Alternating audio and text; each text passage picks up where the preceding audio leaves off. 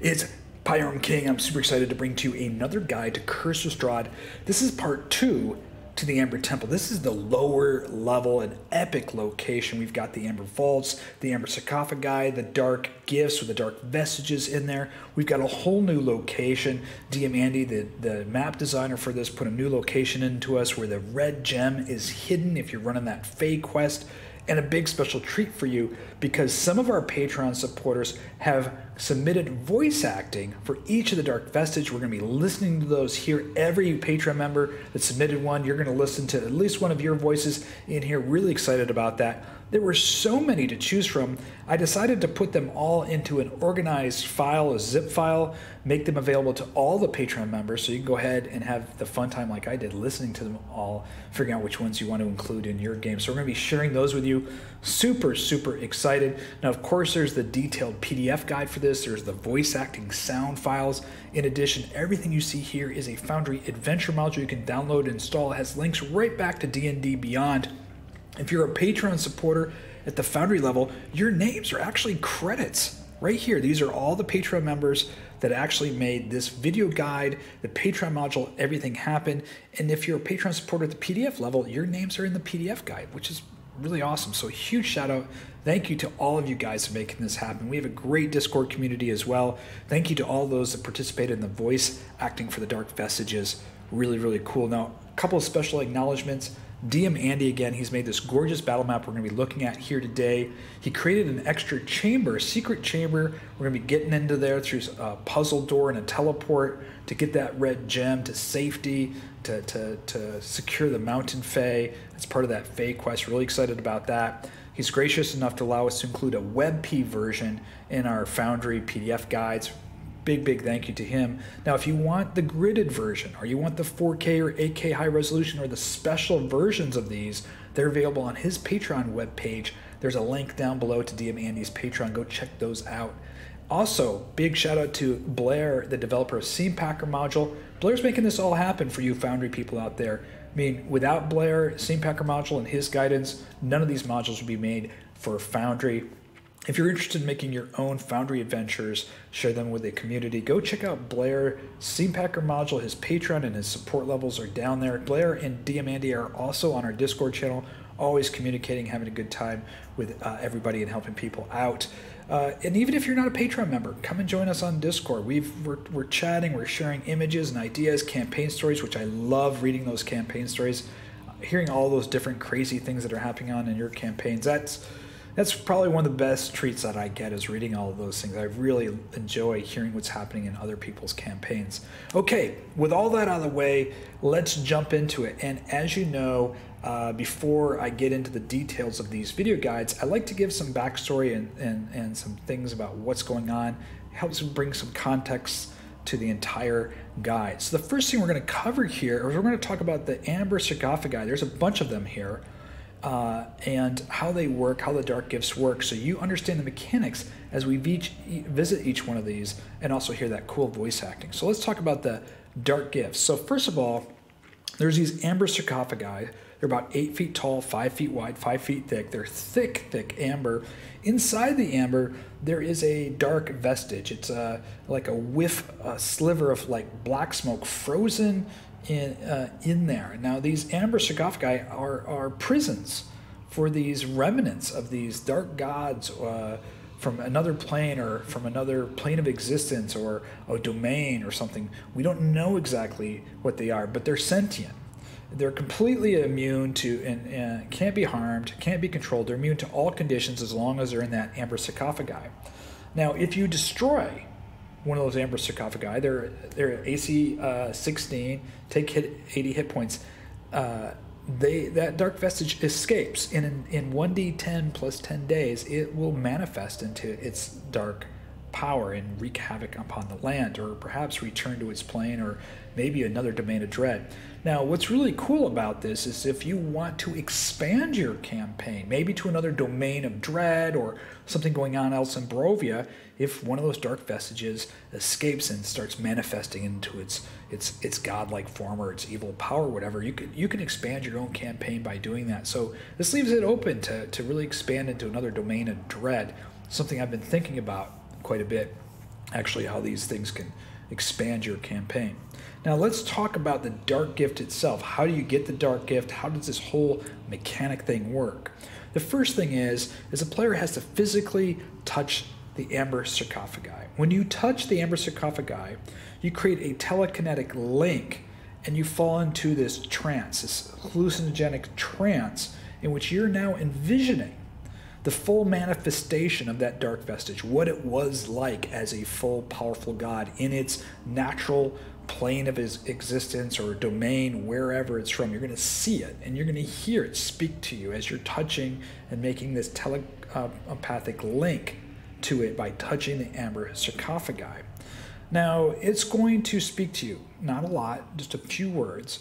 And in those few words are a clue to the dark gift it's going to grant to you because it wants to remain, it wants to continue on forth, and it can, you know, live vicariously through you as it transforms you with some of its dark gifts.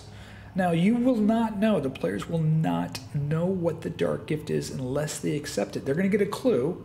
There's a clue to what they're seeing, there's a clue to what's being said, but unless they accept the dark gift, they will not know what it is.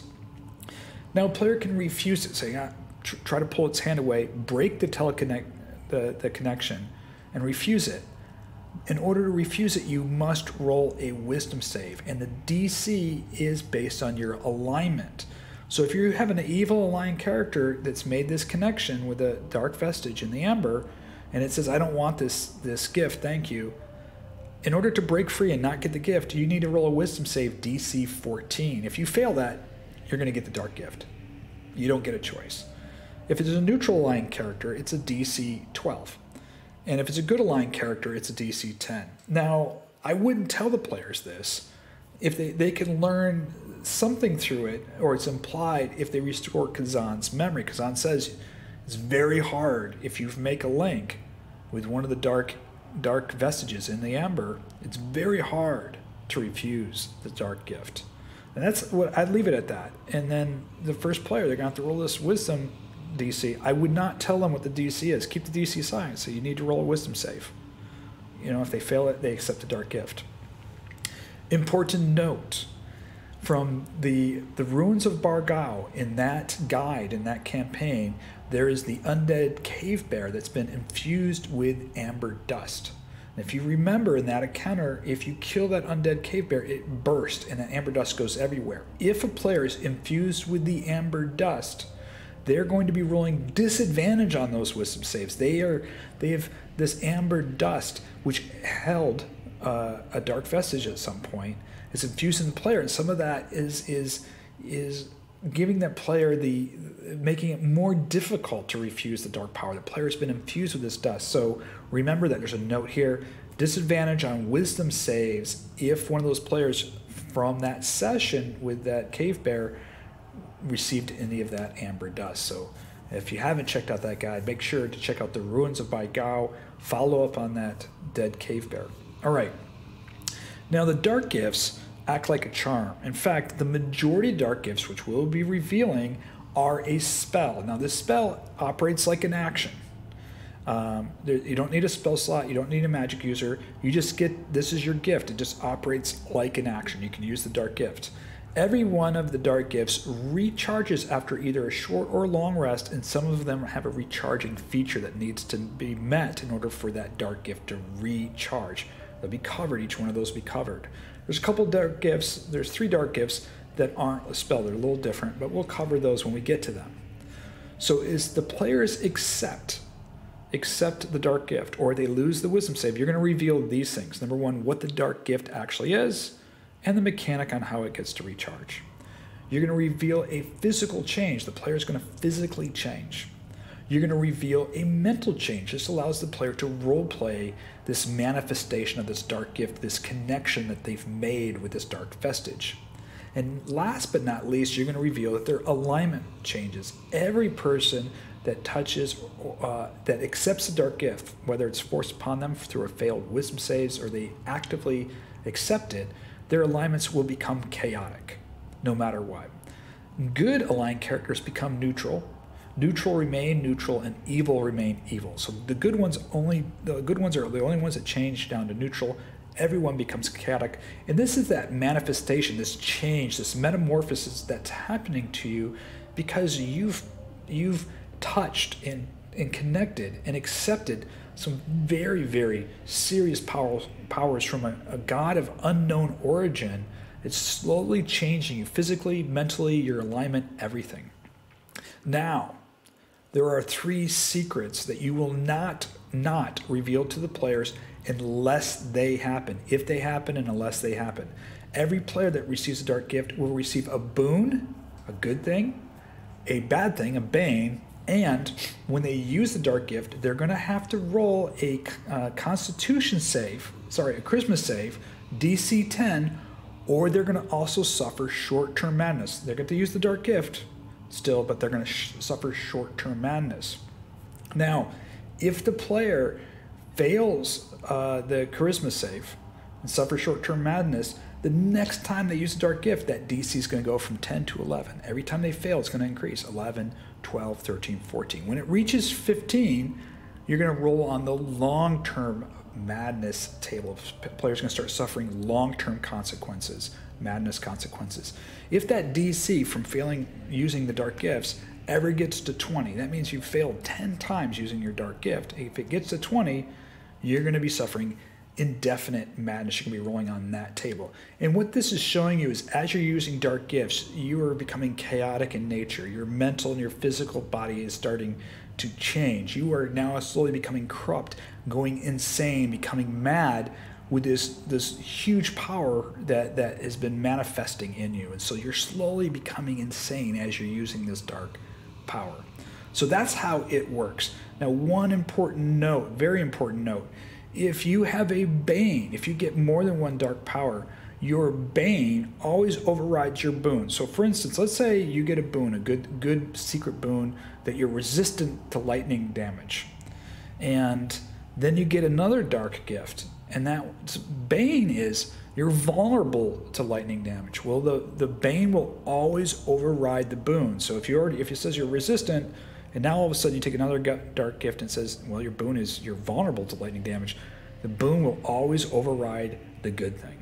The second thing is any physical or mental changes that may overlap. Let's say one, one of them where your hair turns red, and then you take another dark gift, your hair turns black.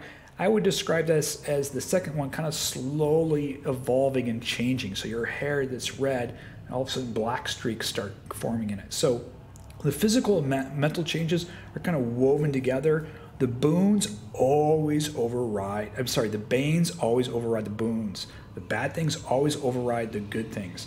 And those three things are secrets. The role is secret, the boon, the bane secret. They only materialize and reveal if something happens. And we'll show you how that works in a little bit. So that gives you an idea of how this whole process, the mechanic works. And we're going to review that again as we hit those dark gifts. Okay, let's jump into it here. And we have a player character here. Oh my gosh, it's me. There I am, the player character. We'll be, we'll be exploring this place. So the first here we're going to talk about the lower level is this main uh, temple area. And you can see this uh, from the upper level when you're looking down in the balcony. There's two giant stairwells that lead down.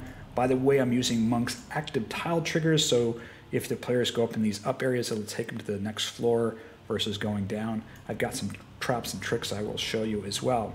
The one thing that you're going to notice down here, we're in X05, uh, the Temple of Lost Secrets, is there is a large statue, 40 foot statue at the far end of this temple. And if the players come down here, meaning me, show up down here. Inside this statue in the head, the statue is hollow. There's a secret door in the back. Inside the statue is an Arcanaloth that has disguised itself as a wizard. And here it is. Here it is disguised as a wizard, Henrik Stolt. So it's up in the head and it can see the players, right? And by the way, just so you know how I did this on um, in uh, Foundry, is I put uh, one-way walls up here with a secret door in the back. So technically, Henrik can see me up here, but I can't see Henrik in the statue. So there's the statue, I can see the statue, but Henrik is in the statue, he can see me.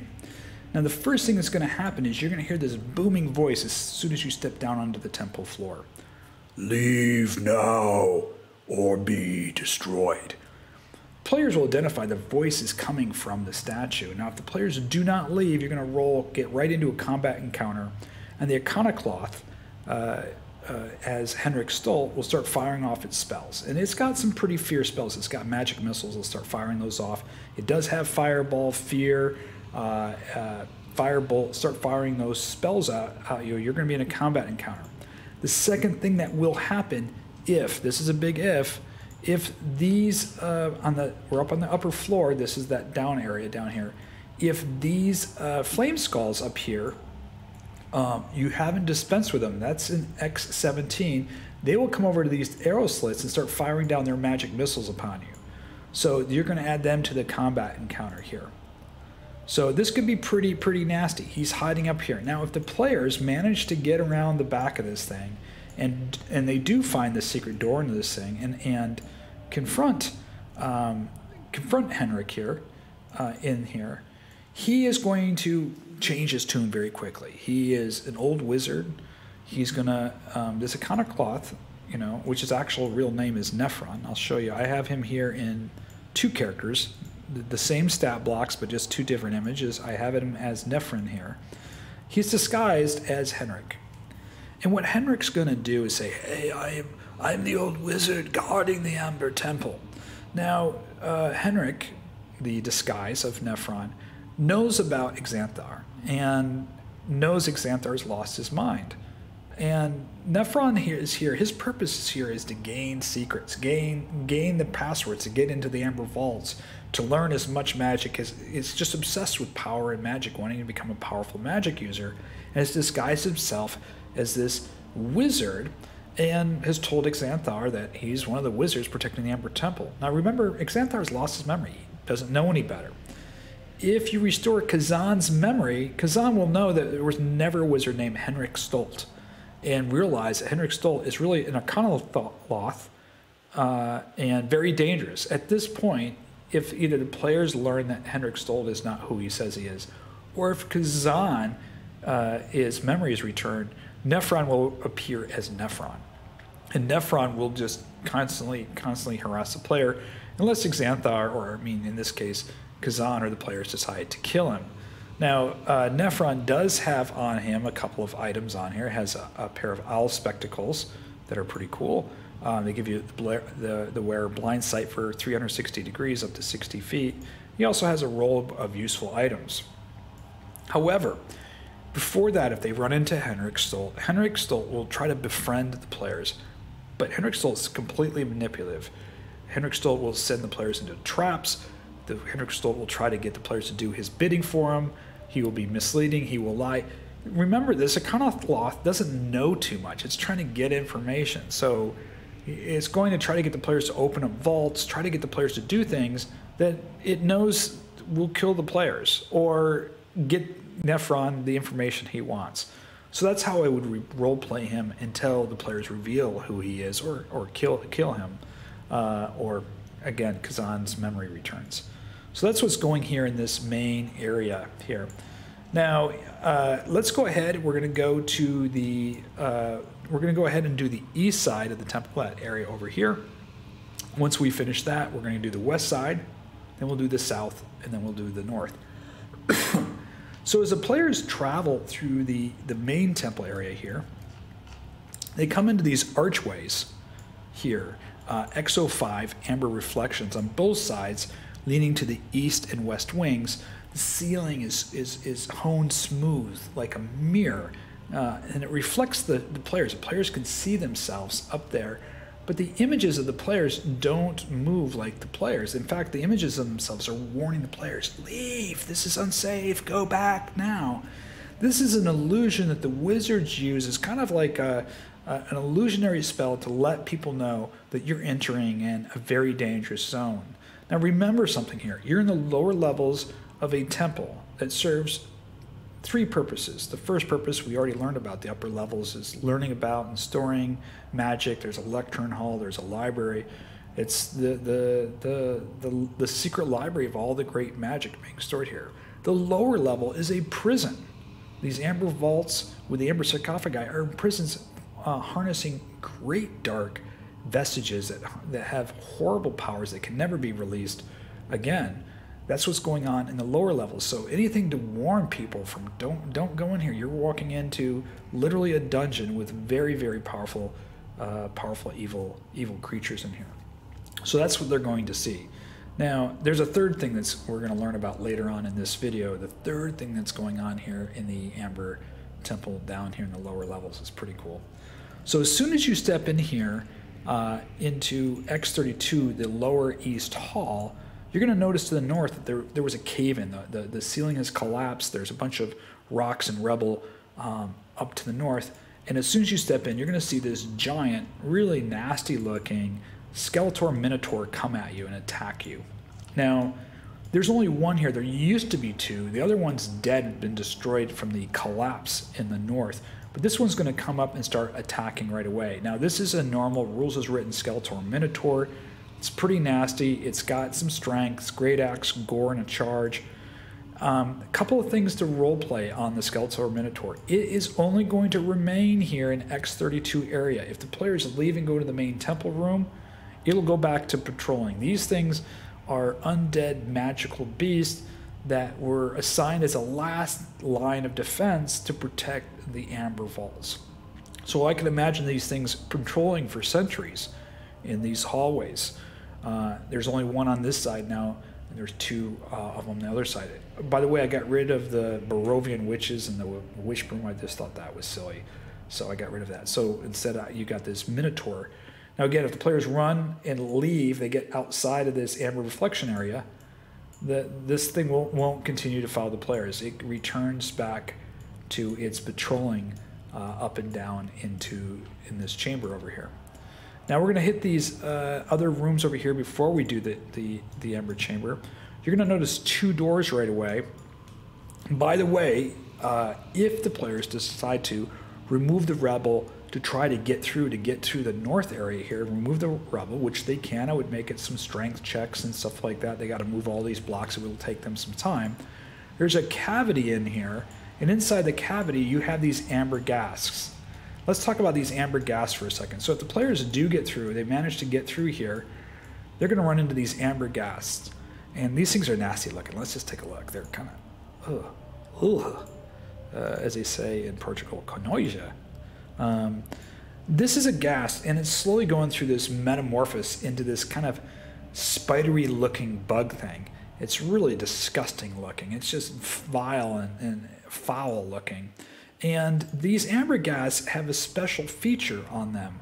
They have spider climb uh, is a unique feature, and they, they also have this nasty stench but the spider climb on it. And you're going to realize later where that spider climb comes from. So if the players break through and they get into this cavity here, there's still a wall of rocks they'll still have to get through. These three amber ghasts will begin to attack the player in here. So that's in case the players start trying to move through these rocks to try to get north. All right, if we go into the north room here, this room here is X35. This is the East uh, Disciple quarters. And as soon as they step in there, they're going to realize, well, there's a glyph on the door. The glyph of the door is kind of worn away. The door is cracked. You step in there. This place has been ransacked centuries ago. There's dust and cobwebs all over the place. and in the center of the room stands this incapacitated shield guardian. I'm going to turn off this little light here. I turn this light on. I'll show you that in a second. And, and how this works. So if they step into the room, here I am stepping into the room you're going to see this giant shield guardians. Completely, you're going to see this massive set of armor made of steel and wood just standing there, not moving. It must have been there centuries. There's like cobwebs and stuff, stuff attached to it.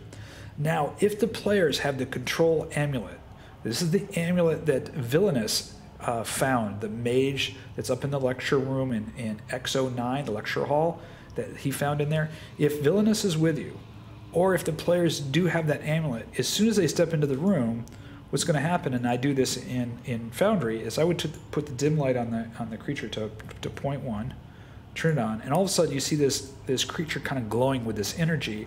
The amulet around your neck, or if you're holding it, starts to vibrate.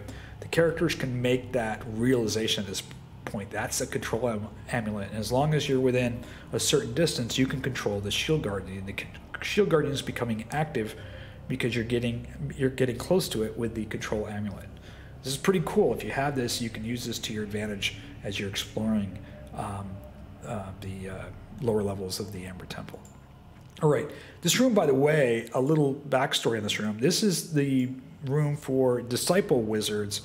Uh, usually, uh, two, one, two, three disciple wizards would be staying in this room. You have to remember, uh, and we'll find out down here in the next room, is the master uh, bedroom here. So if we step into the next room down here, this is X34. This is the master's bedroom.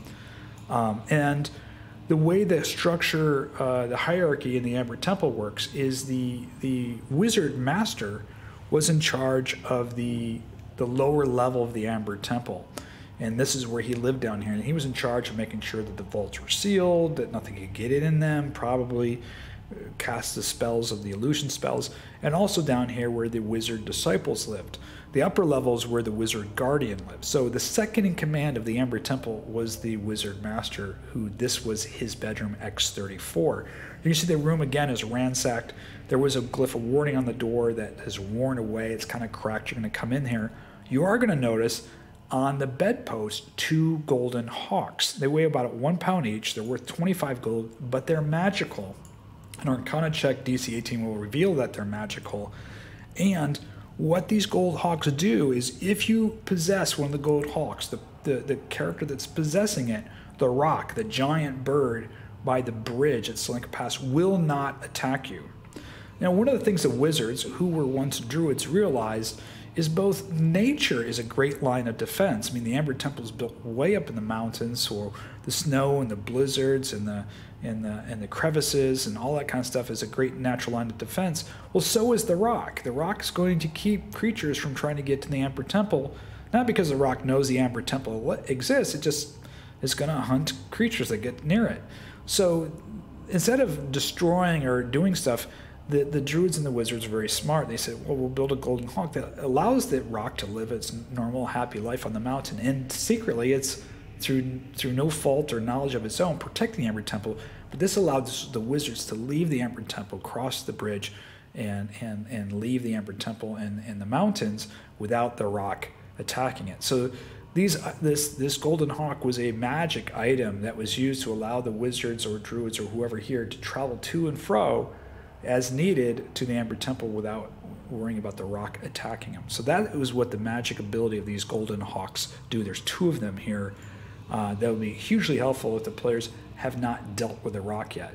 Now, again, the roc won't attack the, the only the player that has it. So if you're standing next to another player that doesn't have it, that player is well, as we say, SOL, shit out of luck. I mean, the roc's going after them, but not you because you have the golden hawk.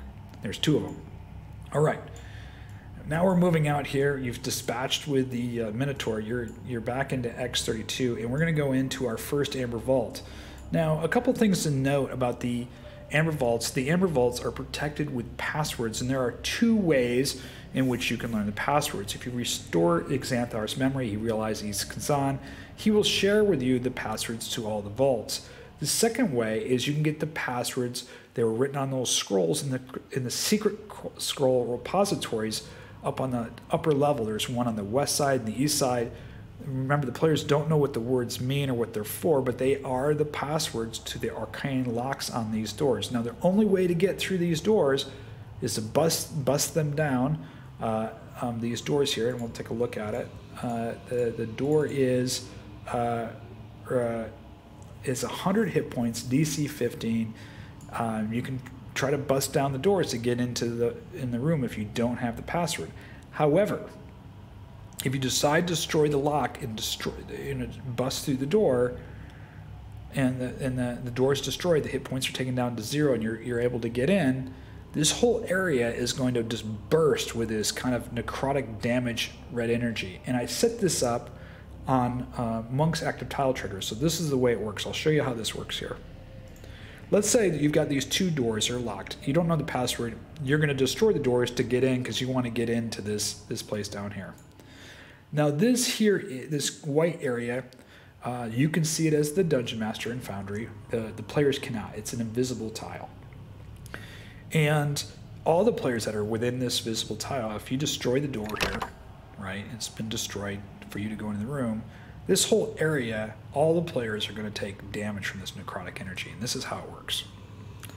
You, as the game master, just double click in this tile, and every every character, good, bad, and different, every creature in this tile, in this big tile area, is going to suffer damage. This, the game is going to pause, and I'll show you how this works here. I'll just double click on it, show you. Uh, the tokens will stop moving, game will pause, there'll be a sound file, there'll be some light, so light up for 8 seconds, light will go off, and the players will take 40-10 worth of damage. So let's go ahead and activate that, show you how it happens. So you're standing in here, you've blown up the door, destroyed it,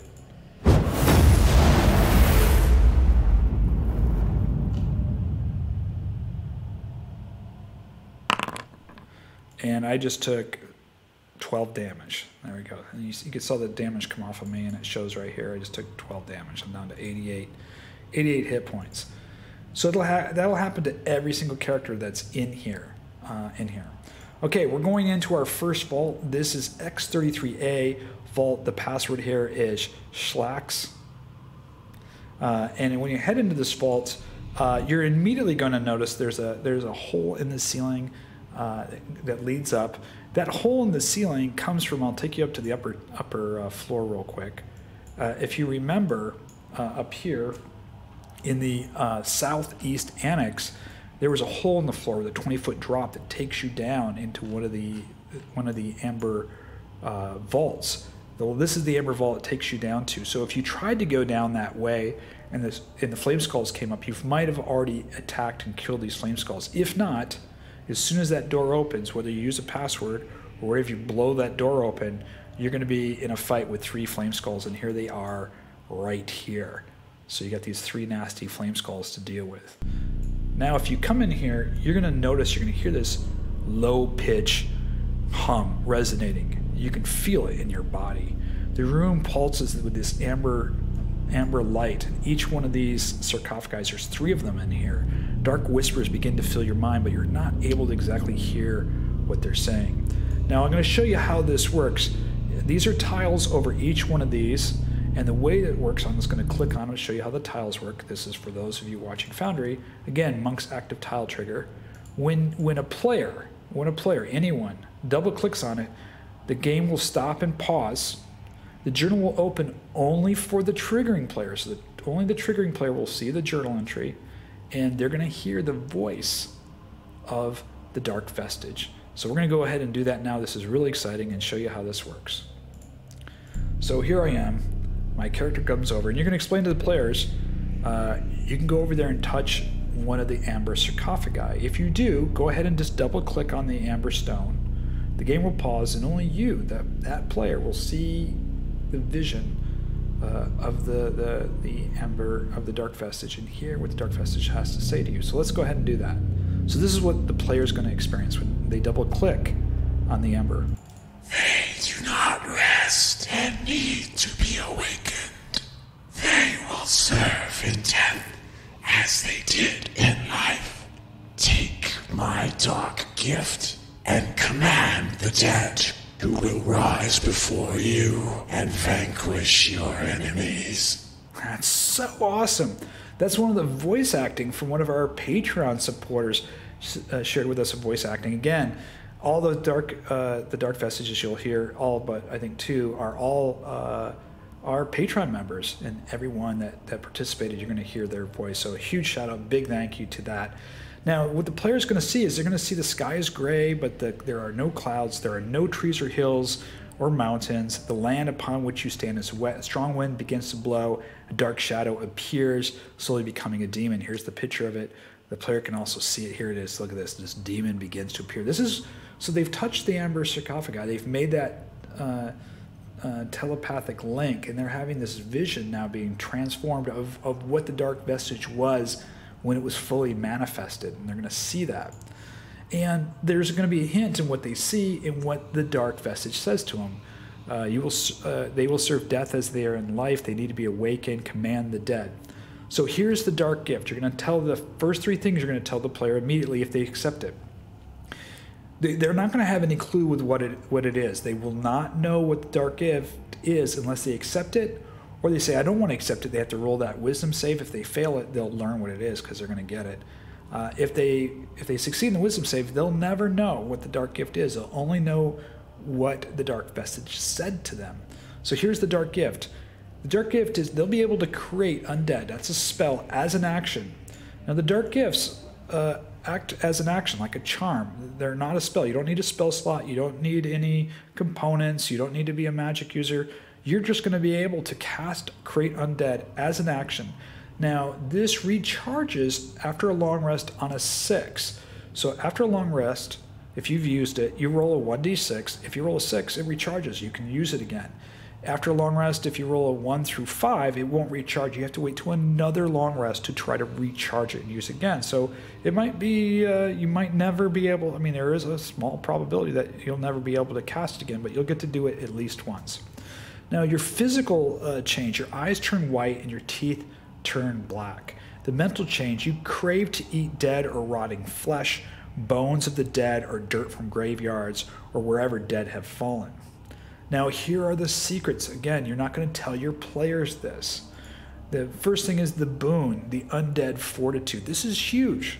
The player's not going to know this until it happens. Again, boons, banes, and the madness roll. Don't tell the player until it happens. Boon, undead fortitude. If the hit points fall to zero or less, they make a Constitution save DC five plus the damage they take. If they make if they succeed on it, they fall to one hit point instead. That's a really cool boon for this. The Bane, they must eat the remains of the dead or dirt from graveyards or the recently fallen every 24 hours or suffer one level of exhaustion.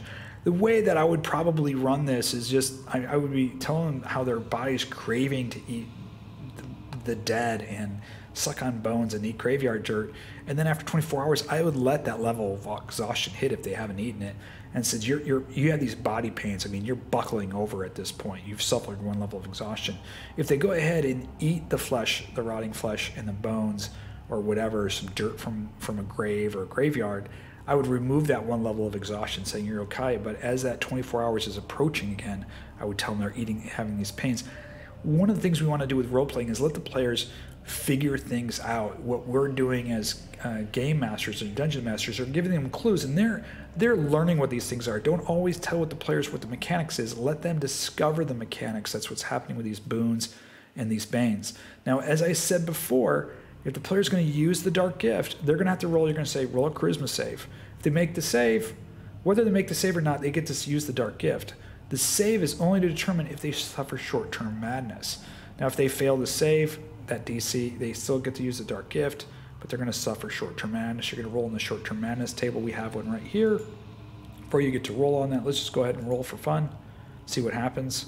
If I failed, the character begins babbling and is incapable of normal speech or spell casting for 1d10 minutes. How many minutes? For 4 minutes. So for 1d10 10 minutes, uh, for 4 minutes in this case, that's what's going to happen. So um, now that my DC for using that dark gift, my DC is going to increase uh, to 11 next time. If my DC ever gets up to 15, I'm going to be using long-term madness. DC 20, we're going to be indefinite madness. So this is just kind of representing this kind of, you know, you're, you're slipping further more into sanity and madness as you're using this dark gift. So this is the first one, really excited to show it to you. Okay, stepping over, I'm walking down to this, this amber sarcophagi. I raise my hand up and place my hand upon the amber, and I make this telepathic link, and this is what happens. Carry forth the power of my storms upon the land. Accept my dark gift, and unleash the power of wind, lightning, and thunder down on those who stand against you. Tell me that's not so cool. Okay, the sky grows dark, so the player's going to see the sky grows dark, storm clouds form overhead, lightning strikes with roars of thunder, and the booming voice says what it just says. You got the words there as well. Here's the image of it. Look at this. Just, it's like a cloud lightning god just kind of moving through the storm. This is the vision that you're having as you've made this connection. I'm to just turn down that temple sound a little bit there. Okay, now the dark gift here, he gives you a pretty good clue, doesn't he? So you're going to be able to cast Lightning Bolt, Thunder Wave, or Gust of Wind. These are all pretty good spells. Uh, level 3, uh, spell, the Thunder Wave. I like the Thunder Wave spell and the Gust of Wind spell. Any one of those spells you get to cast as an action, only one of them, and they recharge after short rest. So you get to use one of them, and then next short rest you can use another one, and next short rest you can use another one. So they that that Dark Gift ability, you get a choice choice of three, recharges after short rest. Very cool. Your physical change, your hair turns white and your hands begin to tremble. Your mental change, you can no longer whisper. Imagine that. You're a storm now. You have you've been infused with this storm power. You're going to only speak loud. That's not always a good thing. Now, here are the secrets. Your secret boon is you're going to be resistance to lightning and thunder damage. Don't tell this to the players. So, the first time, and if they may never, but if they ever experience lightning or thunder damage, they're going to have resistance to it. So, don't tell the player until the first time that happens. Their Bane, they're going to disadvantage on dexterity checks that require careful hand movements like sleight of hand or lock picking. So, you're going to describe your players, you know, you're, you're, you're trembling. Your hands are always trembling you're trying to pick a lock, and if they're going to roll a check or do some sleight of hand, you're going to go, you got to roll disadvantage. You go, why? Your hands are trembling. At that moment, you're going to explain that dark gift that you've accepted. Your hands are always trembling. You're going to be rolling disadvantage on any careful hand movement checks going forward. Again, if they use the dark gift, they're going to have to roll that charisma save DC 10. Uh, otherwise, they're going to suffer short term madness. Again, they still get to use the dark gift. It's just whether they suffer madness while using the dark gift or not. Okay, let's go to the next one. The next one here is by our own Elvin Kari. She's one of the moderators on our Discord channel, and she was also a player in my Curse of Strahd game. Elvin Kari played the monk Leah. Uh, uh, in addition, she's a DM for her own Curse of Strahd. So this this is Elvin Kari. Here we go. So I put my hand up on the amber, close my eyes, and all of a sudden I've made the link and. Please Spread my lovely poxes throughout the world, for I am stuck here. Finish what I have started. I grant you my dark gift to share my poxes with others.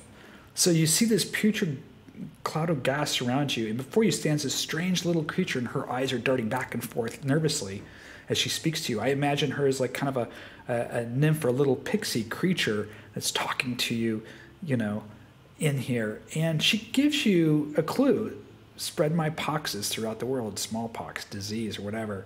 Uh, let's take a close image of her. Look at that. There she is. Just kind of like a little fairy speaking to you, but you don't realize it's blood and disgusting stuff that's going to happen. She's going to give you the ability to cast Contagion as an action. It's a fifth level spell. That's a nasty, nasty spell on here. It recharges uh, on a five or six after a long rest. So this recharges on a five or six after a long rest. Your physical change, unfortunately, well, you break out in blisters and boils. Pus and blood run from each burst blister and boil on your body. Your mental change, you envy those who are beautiful and you treat them with spite and malice. You are your boon, your secret boon is you're immune to disease. You can never be sick ever again. So you're totally immune to any disease. Your disadvantage, though, is on persuasion and charisma checks. Well, you can imagine covered in boils and and and uh, blisters that are bursting with blood and pus. You're not gonna you're not, you're not going to be persuading anybody anytime soon. Again, don't forget you're going to have to roll uh, the DC uh, 10 uh, uh, charisma on there, other, otherwise suffer short-term madness. All right, very cool. Let's go up to our next chamber here, and we are to, we know the password so we don't die out here. And we go inside. And in this particular one, the uh, whoop, the the vault here, the password of the vault is Maverus. If you know that, you're either to get that password again from one of the secret spell scrolls, or Kazan will reveal it to you. Let's go ahead and go through each one of these here. I'm going to go to the north one first. I'm going to put my hand on the amber sarcophagi and the mind can be as full or as dark as the moon. I have the power to darken minds, and many I have destroyed. Take my dark gift and darken the minds of those who stand against you. Very cool. The clue is right in there. The power to darken minds, many I've destroyed. Take my dark gift, darken the minds of those who stand against you. So what you're seeing here is you're standing in a desert under a hot white sun. Slowly the moon slides in front of the sun, creating a perfect eclipse. The desert becomes dark and cold. The hooded figure materializes and hovers in the sky and says that to you. Um, there's the image of it. Really, really cool. What's what's cool about this is you're not given a lot, but you're given clues of what that dark gift could mean, something to do with the mind. So let's check it out. Again, if the player accepts it or fails the wisdom, they're going to learn what the dark gift is. This is a pretty potent one. You're going to gain the ability to cast both Feeble Mind, which is a really powerful spell, or Mind Blank.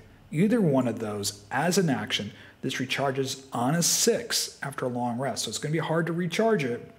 You get it at least once, we charge this on a six. Now, physical change, the character's face becomes expressionless.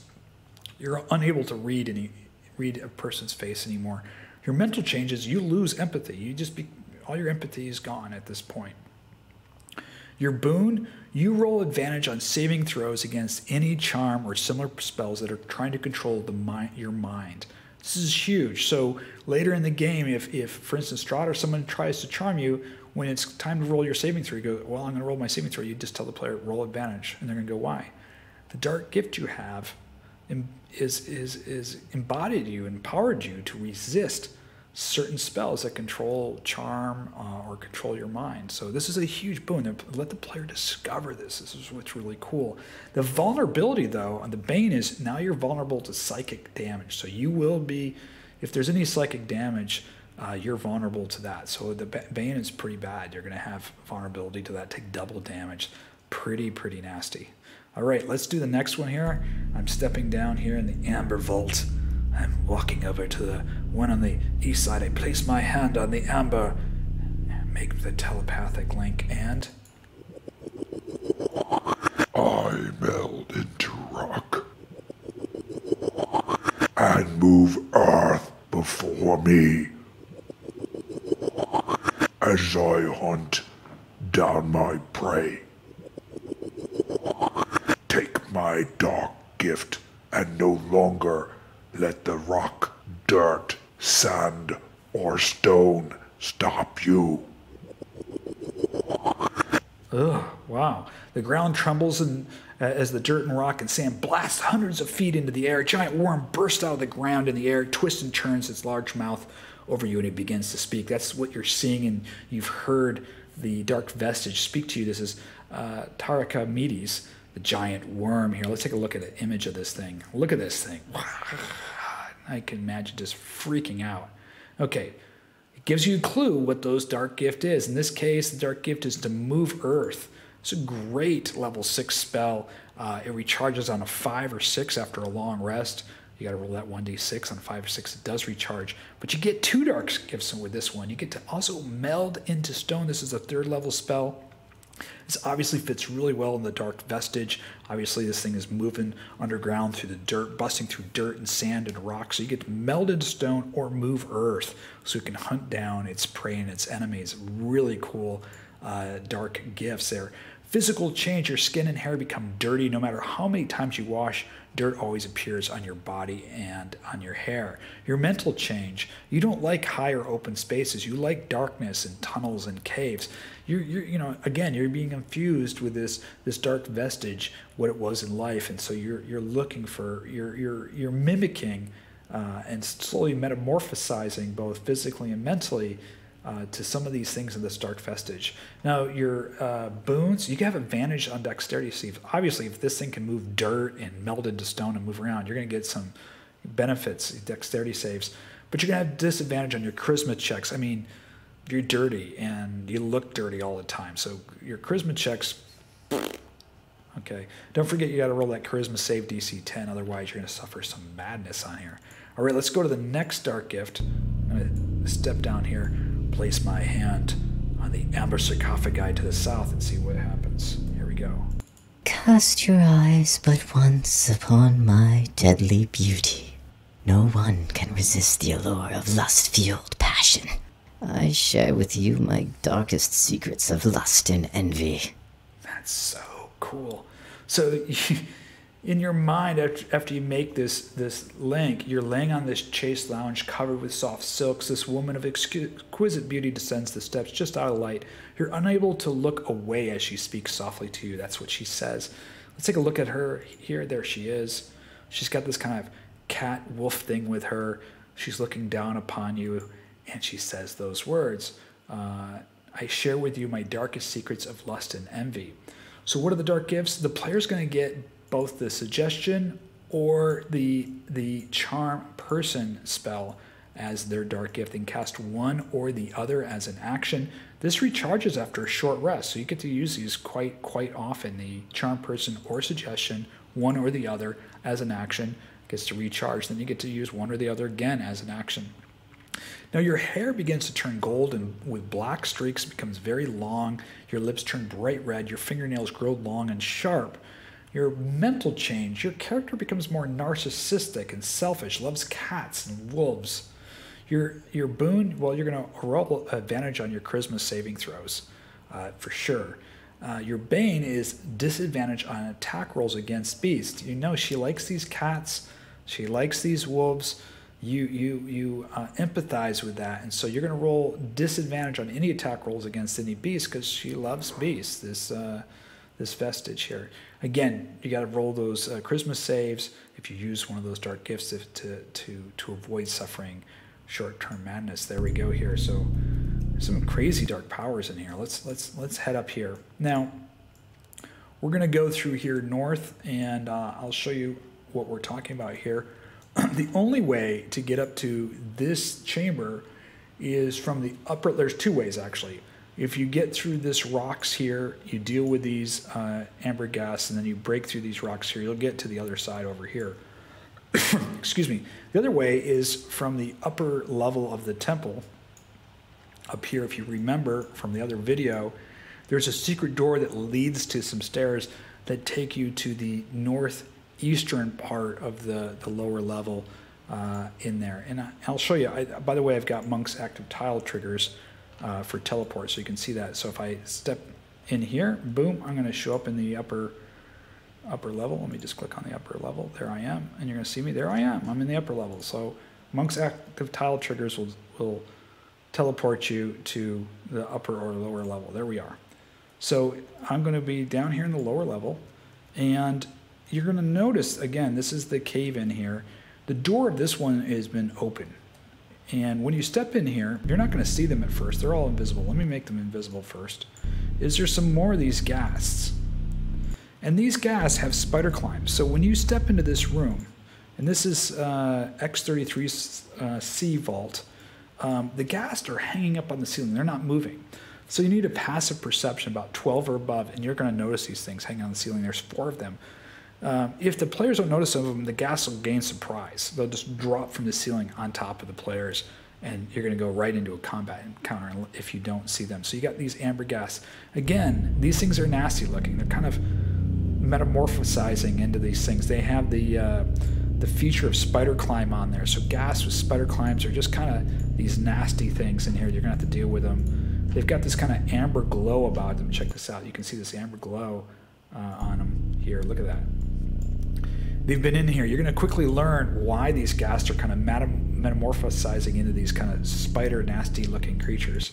So before that, we're going to check out these these amber sarcophagi. One of them is going to, to, to tell you what's going on. So I'm going to step to the south first.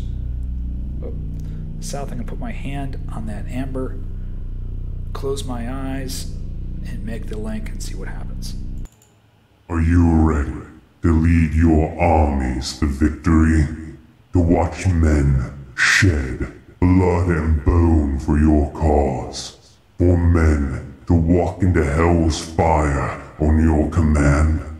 Accept my dark gift, and I shall knight you with the powers to rule over men. Pretty amazing one. So you're kneeling, you're you are kneeling in a large throne room. That's the vision that you're having. Sitting before you is a large skeleton king. It stands, steps towards you, looming above you. It looks down and says those words. So let's take a look at that image. That was really, I mean, that's pretty pretty powerful stuff there. There's some clues there. Accept my gift, and I shall grant you the powers to rule over men. What are the gifts? You get two of them here. You get the Geas spell, uh, which is you cast as an action. That recharges on a five or six after a long rest. Very powerful charm spell here. Obviously, if you're going to charm men to do your bidding and charm an army, having that would certainly be something you'd want. The other one you get as command as an action. This is a first level spell. This recharges after a short rest. So you're going to get two, uh, two dark gifts out of this one. Uh, one that recharges on a five or six, and then one recharges after every short rest in there. Very, very cool. Now, physical change. You march or walk with a stride. Your face grows stern. You no longer smile. Your eyes turn gold in color. Mental change. You become arrogant, stubborn, demanding to be a leader. Now, your boons, you're going to have advantage on your charisma saves, and your bane, you're going to have uh, disadvantage on your intelligence saves. Again, you're not going to reveal these things until they manifest throughout the game. If they if they come up in the game, then you're going to reveal them, and then you're going to explain why to the player. It's, it was part of that dark gift. These are things that are affecting you positively and or negatively. Okay, let's go up to the top here. I think we did Dahlver-Nar. Let's do the top one here. Yeah, we did that one. Dahlver-Nar. No, we didn't do that one yet. Let's go here. Let's go to this one. Okay, so I'm to put my hand up here and we have devoured nature's bounty for an eternity and reaped its rewards. Accept my dark gift and feast on everything nature has to offer. So you're standing before this massive creature. This is what you're seeing. The body is covered in mouths and teeth of all sorts, and you feel the hot breath of the mouths speak to you in unison. There's a clue in there. You've devoured nature's bounty for an eternity, reap its rewards. My dark gift, take my gift and feature, feast on everything nature has to offer. Let's take a look at this image here. Look at this, all these teeth and these mouths. Fairly nasty looking uh, creature. So what are we what are we getting from this? Well, the player's gifts, you're gonna get two of them. These are pretty potent ones. First one here is you get Hero's Feast, which is just amazing. You get to cast a Hero's Feast there. That recharges on a six uh, after a long rest. And you also get Good Berry as an action, level one spe- spell. Eating a berry restores one hit points. The berry provides enough nourishment to sustain a creature for one day. Really, really cool. Uh, so that you get that one hit point in here. Now, the physical change, the, the player is going to lose their teeth. They begin to fall out and disappear because Dahlver-Nar is taking the teeth and and it's your teeth are materializing on its body. So your teeth are falling out and disappearing. Pretty soon you'll have no teeth. Mental change, you're going to hunger always for rotting food. You hate fresh food, so you're going to love rotting food. You're going to just love the smell. You're just going to be obsessed with rotting food.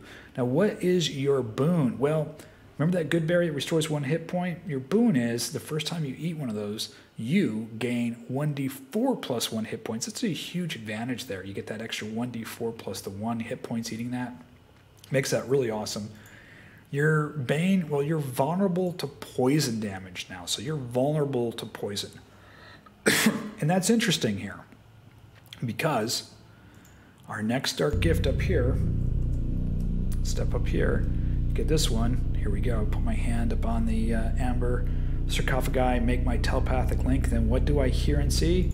Fools think they can escape, but nothing is out of my reach. Let me grant you my dark gift to corner and trap your prey. You see, you're caught in a large web. Light barely penetrates the web as it parts, and this part man, part spider creature steps forth. Let's take a look at this thing. Ugh, as they say in Portugal, canoja meaning disgusting. Um, so obviously, nothing's out of your reach. You can corner and trap your prey. Well, what are you going to get? You're going to get Dark Gift of casting web here, or using Spider Climb as an action. This lasts for one hour uh, on on on yourself. These recharge after a, a, short rest. You can use one or the other, and it recharges after a short rest. Your physical change. Small spiders live in your hair and clothes. Your gear is always infested with baby spiders. Mentally, you believe that everyone's trying to leave you, and you do whatever you can to keep them around. You know, it kind of fits in with that whole web, you know, casting a web. You, you just think people are trying to leave you. You want them to, to always stay around. You're going to be immune to poison damage. Now, here's the bad bad news here. If you take this, and then you go down here and get oh sorry if you get, take this dark gift and then you take this other dark gift i want to point this out this is really important this this Bane, vulnerable to poison damage, overrides the boon. So if you take both these dark gifts, you go, oh, cool, I'm immune to poison damage. Then you get this one, you're vulnerable to poison damage. The Bane always overrides the boon, so you'll be vulnerable to poison damage in this case. Uh, and the Bane is you roll disadvantage on attack rolls and saving rolls against bats and birds. Why? You're covered in baby spiders. You're like the friggin' smorgasbord cafeteria for birds and bats. They're to see all those little baby spiders and crawling all over in your hair. They're to come and try to uh, attack you. That means you're to try to swat them away. And so on your attack rolls and on your saving rolls against birds and bats, you're to be rolling disadvantage on those things. So that's your bane. Again, boons and banes don't materialize. Players don't know until those materialize or if those conditions uh, are met or happen. Pretty crazy. So we've covered over here. We've covered the entire east side of the Amber Temple. Let's let's head over now to the west side. So we're going to go over to the west side of the Amber Temple. Here we are on the west side. Again, you're going to you're going to step through this area that's got this uh, uh, reflective amber. And when you get into the west side and X36, you've got two of those Minotaurs that are going to immediately come in and attack you here, just like they did on the other side. The other side, remember, the, the, the, the there was a cave in that destroyed one of the Minotaurs. These Minotaurs will both attack you. Again, these are just straight up rules as written um, in here. Their features great axe, gore, and charge. Again, if the players move out beyond the amber reflections in the main temples, they'll re- return to uh, just their pacing and their guard duty marching up and down this hallway. So they have been here for centuries, and their only job is to guard uh, this hallway against any intruders. So once you deal with those, let's go ahead and check out these two rooms over here first, and then we'll do the amber vaults. So we'll go to the lower room first. Just like the other side, this is a disciples' quarters. Remember, the disciples, you got the master wizard that's living down below, you got the disciples. These are disciples' quarters. There's probably, you know, one time it probably served uh, quarters, served the wizard disciples. Probably two, one or two of them would live in here. But you notice this broken furniture and everything's laying in dust, carved into the wall, probably with a tool or a nail or, or, or a dagger, is the words Dark Lord release the vampire vestige, all is lost. This is foreshadowing something the players are going to find out if they find this first. It's not good. Not, not good. If the players travel up into this, this north room here, um, this door is unlocked. They go in here, and as soon as they step in, this is another room. This is North Disciples' quarters, uh, where one or two wizard disciples lived. All of a sudden, furniture is going to be like hurled at the players they're going to be, you know, dodging some furniture, and this poltergeist materializes in front of them. There it is, right here. Got a little lighting effect on him. I'm smiling at him. Uh, the poltergeist is gonna. You're gonna start hearing the poltergeist saying, "You don't know what you've done. You've released the dark vestige." Of the vampire. The Fae are no longer here to perfect us. We're all doomed. Now imagine this poltergeist is a manifestation of one of the wizard's disciples uh, centuries ago when the Amber Temple was breached and destroyed, uh, Strahd killing all of them. Uh, most of the wizards are cursing some of them. So it's just reliving this, realizing that one of the dark vestiges has been uh, released. Obviously, the Fae are gone. It's throwing furniture. This poltergeist will continue to throw furniture and attack the player as soon as the player leaves the room. The poltergeist, I think, in my mind, the poltergeist is as scared in death as it is in life. It won't leave this room. I mean, it's it's in its life. I mean, you know, it lived here as a disciple, so it wasn't probably you know that high up. But you can imagine the Dark Lord coming here, just slaughtering the wizards and the, all the stuff that probably went here, the horrific stuff. It's probably still scared. The poltergeist is throwing furniture and still scared, hiding in this room for centuries. Uh, kind of sad story, if you ask me.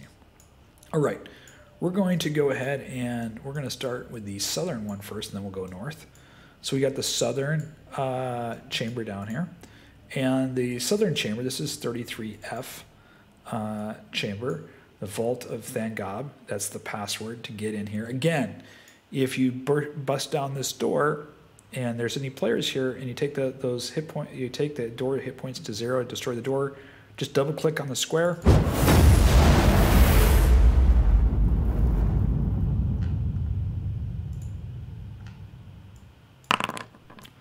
I just took 16 hit points worth of damage. All It'll roll for every single player in there. They'll take 4d10 worth of damage. Pause the game. It's uh, not a pretty safe for those players. Okay, here we go.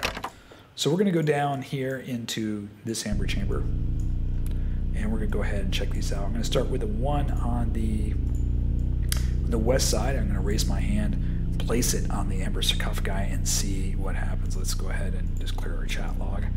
Here we go. Death is not the end, but the beginning. One must simply reach out and touch death. Let me grant you the dark gift to touch death. So you stand among hundreds of faceless, hooded servants as they slowly step forth, disappearing into a dark, twisted mist, rising hundreds of feet above. Red eyes peering among the servants stop when they meet yours. Let's take a look at this image here. Wow. So these servants are just kind of walking up, and there's these, these red eyes peering down at you. Uh, this, this is what you're seeing as you're making this telepathic link. And it gives you a hint. Uh, reach out to touch death. Let me grant you the gift to touch death. You get two super powerful spells here. You get Finger of Death, level 7 spell. Wow. Or Circle of Death, a level 6 spell. You cast either one of those things as an action. This recharges on a 5 and 6. Again, as I said before, not all dark powers or dark gifts are the same. Some are more powerful than others, some are weaker than others, some have horrible boons, banes. They're not meant to be balanced. They're meant to each be a surprise and unknown. This is a pretty powerful one. Recharges on a five or six. Physical change your eyes, hair, and nails become black. Your mental change you do not like the company of the living. You keep to yourself. The boon this is a huge boon. Advantage on death saves and immune to power word kill. That's right, you're immune to power word kill. It'll have no effect on you, and you have advantage on death saves. The Bane, however, this is not a good one. The beneficiary must succeed a Constitution save DC 10 after using this dark gift, and if you fail, you're going to take 3d6 worth of necrotic damage. So even though you're going to recharge on a 5 or 6 to get to use Finger of Death or Circle Death, those are powerful spells you're also going to have to roll a constitution save after using it to see if you take necrotic damage.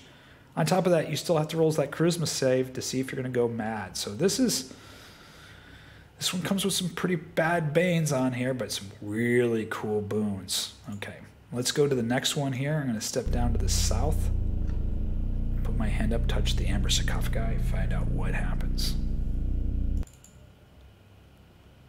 I am here. I am there. I am everywhere. Let me grant you the dark gift to be here, there, and all places in between. That is creepy. That is super creepy. You stand in complete darkness. A gold mass appears hovering before you. As it begins to speak, hands reach out of the darkness and move the mask in blinding speed from one point to another. The voice echoes as it speaks. Here, pretty cool. Let's take a look at, at that image there. That is really kind of creepy. Let's find out what this is. This is a really cool one. This is the only one where you get two that operate at the same time as an action. You get slow, slows all the creatures around you, the slow spell, all the creatures around you, and the blur on yourself as a single action is automatically recharges after a long rest. This clearly, I mean, he tells you, I'm here, I'm there, I'm everywhere, I'm all spaces in between, I'm nowhere. So everybody around you is going to slow. You're slowing time down for up to six people around you. And at the same time, you have the blur spell. So it's really hard to hit you. For, for everybody else, it's going to seem like you're everywhere. You're blurred, and time is slowing for those other people. These these two spells cast together pretty pretty cool, especially for some kind of like thief or character that's going to move around really really quickly. This recharges after a long rest. Physically, you become thin and smaller. Your movements are jerky and quick. I can imagine the character kind of you know all the time. You attempt to deceive others. You're always seeking ways to gain advantage in situations. Your advantages are obviously dexterity checks and saves But you got some bad disadvantage here. Constitution saves and strength saves. You're going to lose on both of those things. Again, you're going to have to roll in that short term uh, charisma save, otherwise, suffer short term madness. Pretty cool one. Very cool. Let's go check the next one up here. I'm going to go touch the Amber sarcophagi here. Attack and rip the flesh from the bones of my enemy. I commend the hounds of hell. Take my dark gift free my hellhounds and unleash them upon the world. Wow, so what you're seeing is the ground cracks open, flames burst to the surface, a demon stands on the horizon and points at you. Two beasts flank the demon and they begin to charge you, and you hear those words spoken. Let's take a look at that image. Wow, look at those beasts charging and that demon pointing towards you. What is the dark gift here? Well, this is a really cool one. You can call forth two hellhounds. That's right, two hellhounds. They will obey your commands as an action for up to 24 hours. You can only have two at a time. This recharges on a six after a 1d uh, after a long rest on a 1d6. Recharges on a six. Very very cool. What happens to you? Well, physically, your eyes and your hair grow red like fire. Mentally, you change. You're only able to speak infernal now. You can't speak any other language at all. You are able to stand common and you're able to understand the languages you knew before in life. So now you can only speak infernal, which is what the hellhounds understand. You are resistant to fire and radiant damage. That is super cool, but you're vulnerable to cold damage. That is not good. So this is a really cool one. To get those hellhounds are really, really, really cool. Okay, awesome. Let's go up and check these other other dark gifts. We got to go up here. Say hello to the Minotaurs, past them. Excuse me. Okay, we're to go to the one here on our left. We've opened up the door, and the password of this one here, this is the uh, Harkotha password, and we're to come in here. As soon as you step into this one, uh-oh, you got this nasty creature. This is a Death Slaad. It's invisible. It will materialize as you stand in. You're to go right into combat these things are nasty. I mean, this thing's got multiple attack. It's it's it's a you know it's a spellcaster. This thing is just just nasty. Very very powerful in here. now I imagine backstory of this Death Slaad is some adventure or something managed to get in here at some point, probably a long long time ago. Got trapped in here. Doesn't know the password. So, so maybe he came in with some other adventures, got stuck in here and it's slowly be it's slowly devolving as it's made this dark pact into this what it is today. So perhaps in another life it was a, a spellcaster of some sort, uh, or you know it's got a great sword. All I mean it's just it's just kind of devolved into this creature here, in here. I'm going to leave it open to you on how you want to role play this. Whether you want to have any role playing moments with this creature. Maybe it was an adventurer from another life. Here it doesn't immediately attack or maybe it does attack, or maybe it tries to force the player to to to to gain some dark powers or something. So this really opens up something rather than just being a straight straight up combat encounter. All right, let's go ahead and check out the dark gifts. I'm going to start to the south. I'm going to go down here and I'm going to place my hand up on the amber and see what happens. All manner of beasts has risen against me and landed their furious blows upon my flesh, yet I remain unfazed by their efforts. Take my dark gift and stand against your enemies with steel resolve. Wow. Pretty pretty creepy. You're floating in what you're seeing uh, in your in your your your state in your telepathic link is you're floating on this calm sea and all of a sudden the sea grows dark waves begin to rise high as mountains a massive creature bursts out of the waters, just dwarfing you in your small boat. The mouth could swallow entire villages. The teeth are as large as the tallest trees. These huge luminous eyes look down upon you. This booming, weird voice that you just heard speaks these words to you. Let's take a look at this image here. Oh my gosh, just seeing this thing, I can imagine just trembling in fear. What do you think the dark gift is? Well, this is a unique one. you gain 30 temporary hit points. This recharges after a long rest. This is a huge one 30 temporary hit points. That's awesome. Now, your hair falls out, your skin becomes dark and leathery. That's the physical change. And your mental change. You become aggressive in nature. You dare people to challenge you. I mean, he's kind of telling you this dark, dark power, dark vestige is telling you, you know, all manner of beasts have risen against it and land their furious blows upon their flesh, but he remains unfazed. It's because he has all these extra t- temporary hit points, right? Let's talk about the boons and the banes. You're going to get advantage on constitution saves, disadvantage on dexterity saves. Remember, those banes override boons. So if you have one that's giving you advantage on dexterities saves, this one has disadvantage. That means the disadvantage always going to override. The bane's always going to override the boon. Pretty, pretty powerful one uh, in here for sure. Let's go up to this one over here. I'm going to put my hand up on the amber sarcophagi make my telepathic link. Nothing can defeat us, for we are the destroyer of worlds. Take our dark gift. Let your enemies tremble as you lay waste to all who stand against you.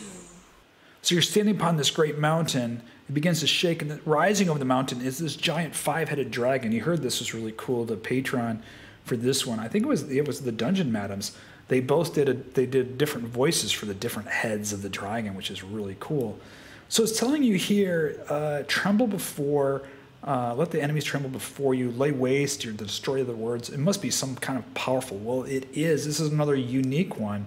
Your strength becomes 25 for one hour. Can you imagine the advantages of that? Imagine if you're a melee fighter, a paladin, or a barbarian or something, you get 25 strength for one hour. That's really cool automatically recharges after a long rest. Your skin becomes scaly like a snake or a dragon, so you're actually kind of physically manifesting into this giant, this giant dragon, uh, Taar Haak. Um, your mental state, you think less of those who fight with ranged weapons. You're kind of like dismissive, like yeah, whatever. Use your bow. You go stand away. I'm going to get right into the action. Uh, you're quick to anger. Your boons, you get advantage on strength saves, obviously. You disadvantage on wisdom saves. Remember, Banes override those boons. So if you have a wisdom advantage somewhere and you take this dark gift, not going to be good. I can imagine this one and the other one having the 30 extra hit points plus the 25 strength for an hour. Man, you're going to be pretty formidable. Remember, though, every time you use this, the hit points or this 20, 25 for one hour recharges after a long rest, you're going to have to roll that charisma save, DC 10, to avoid short term madness. And I can just imagine the players are just going to, that madness is going to, that DC is going to stack. You're going to hit 15. You're going to be rolling on that long term pretty soon. Okay, let's go up top. Check out this one. I, I'm going to put my hand on this one and make a telepathic link to the dark vestige inside. Your eyes deceive you. All is not what it seems. The truth lurks in the shadows, and the truth shall set you free. Accept my dark gift, and you shall see into the darkness. This is a really creepy one, if you ask me. The sky is red, and a liquid red rain falls around you. A human creature in a red robe stands before you. The face is morphed and twisted between beast and man. Its eye sockets are dark and hollow. Its mouth stretches from one side to another. A ring of eyes around its head. The eyes dart in all directions, as if searching, and the creature has its outstretched hand. It holds a book with similar eyes on the cover made of flesh, and the creature's fingers begin to penetrate the book as it's talking to you. Let's take a look at this image. Oh, this is just, this is kind of horrific Lovecraftian in nature, almost kind of Hellraiser if you ask me. Ooh. Okay, it's kind of giving you a hint. I mean, even the image there, the description gives you a little hint.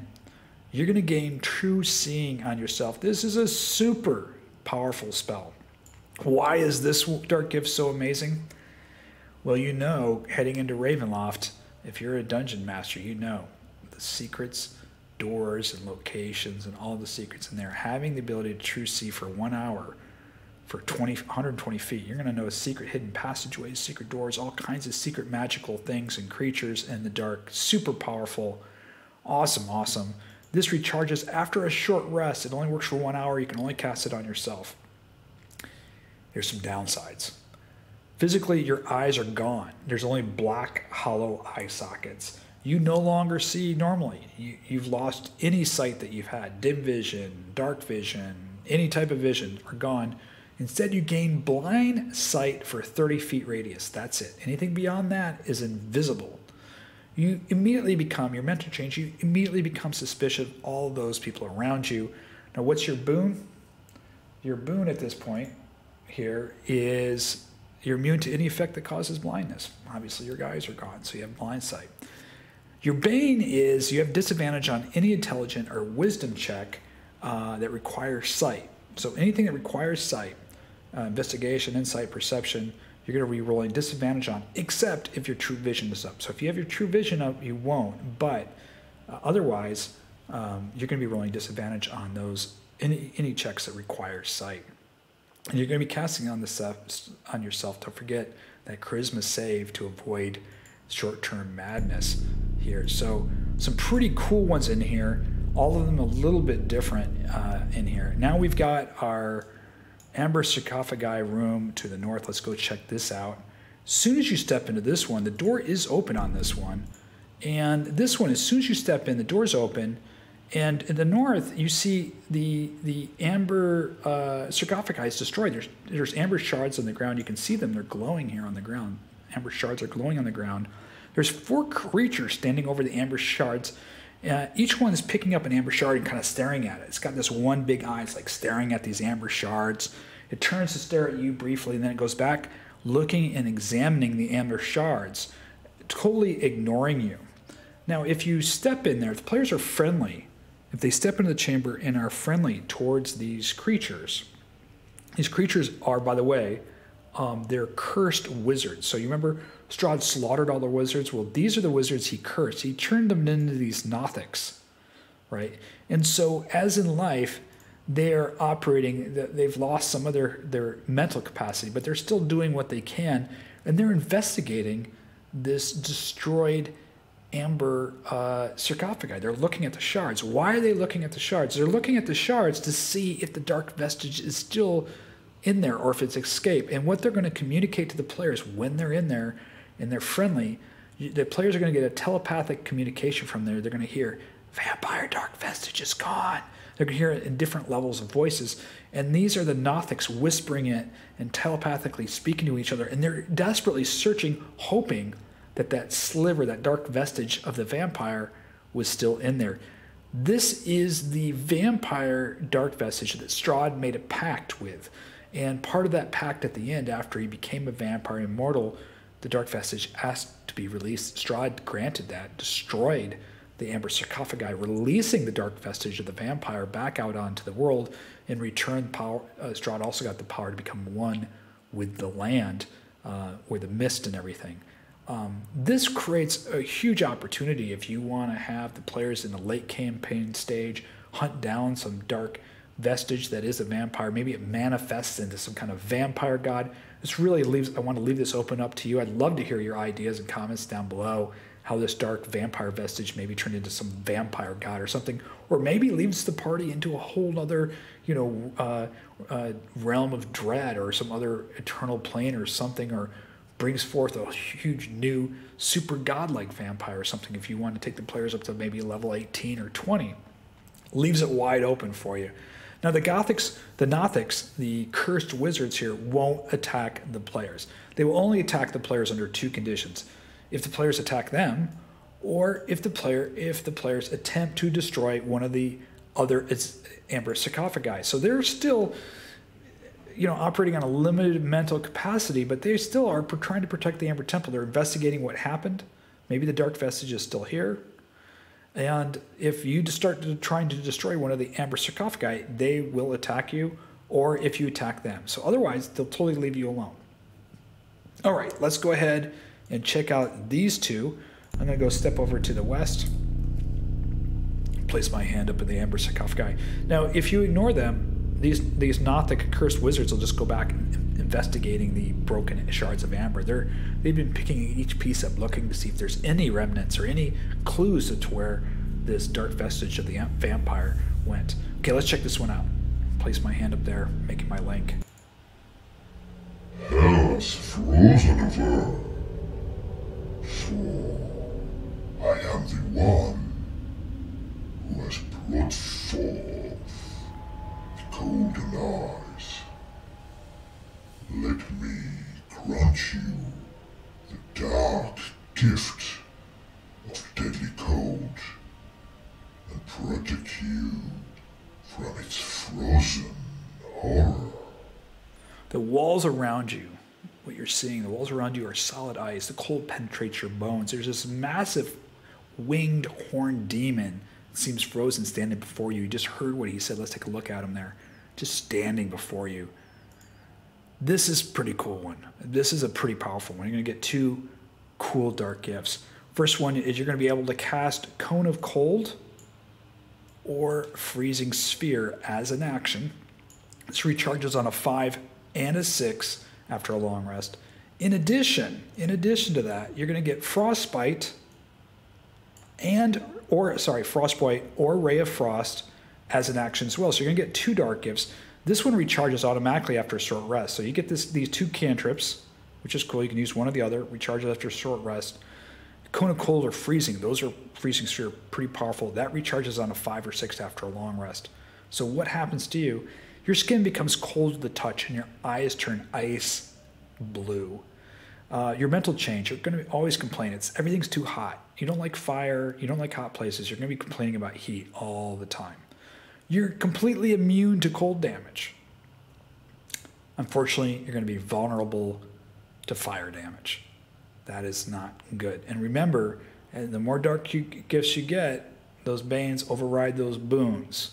So as you stack them, you know, banes override boons. So if you have, you know, resistance uh, or advantage or something to fire damage, now you're vulnerable to it. That that that bane is going to override any any boon fire damage, or vice versa. If you get this, you go, cool, I'm immune to cold damage. There's another one in here that you're you're you're going to be vulnerable to cold damage. That's the uh, I think that's the uh, the one with the hellhounds. And that's going to wipe out your immunity to cold damage here. So just remember that.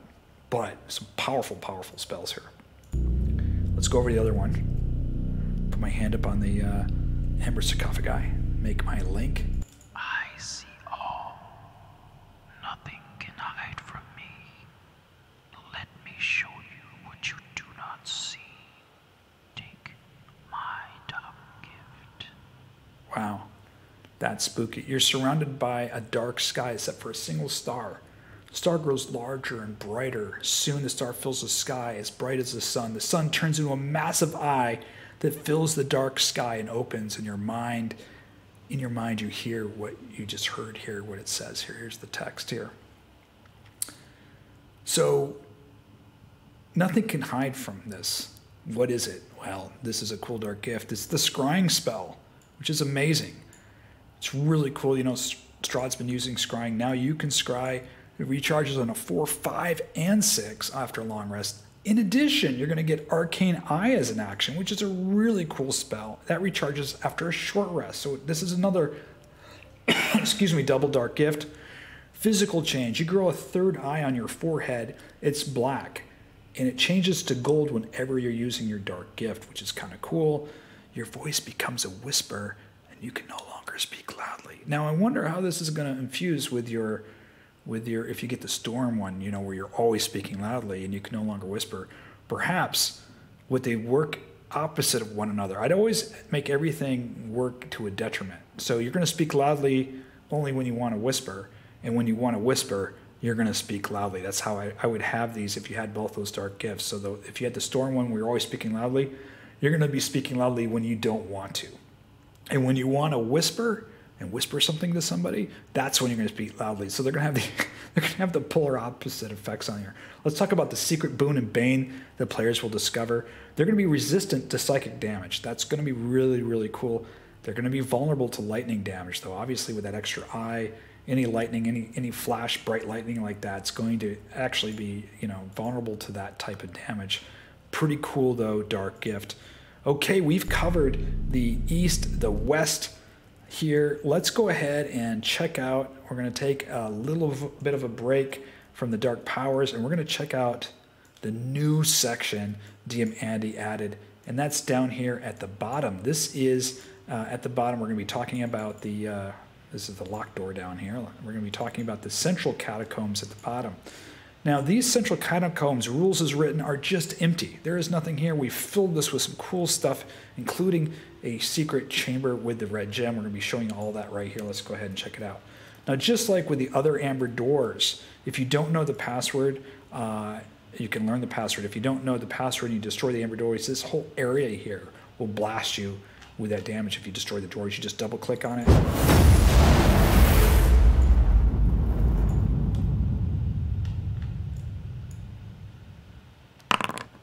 I just took 21 damage. I'm not doing so well with this damage here. I'm down to 51. I've taken 49 damage so far.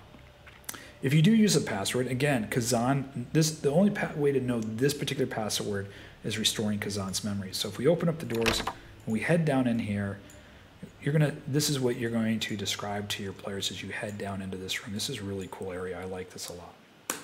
Okay, the catacomb is covered in dust and cobwebs. It, it, it must have been sealed for centuries. The doors that's what it says, must have been sealed for centuries.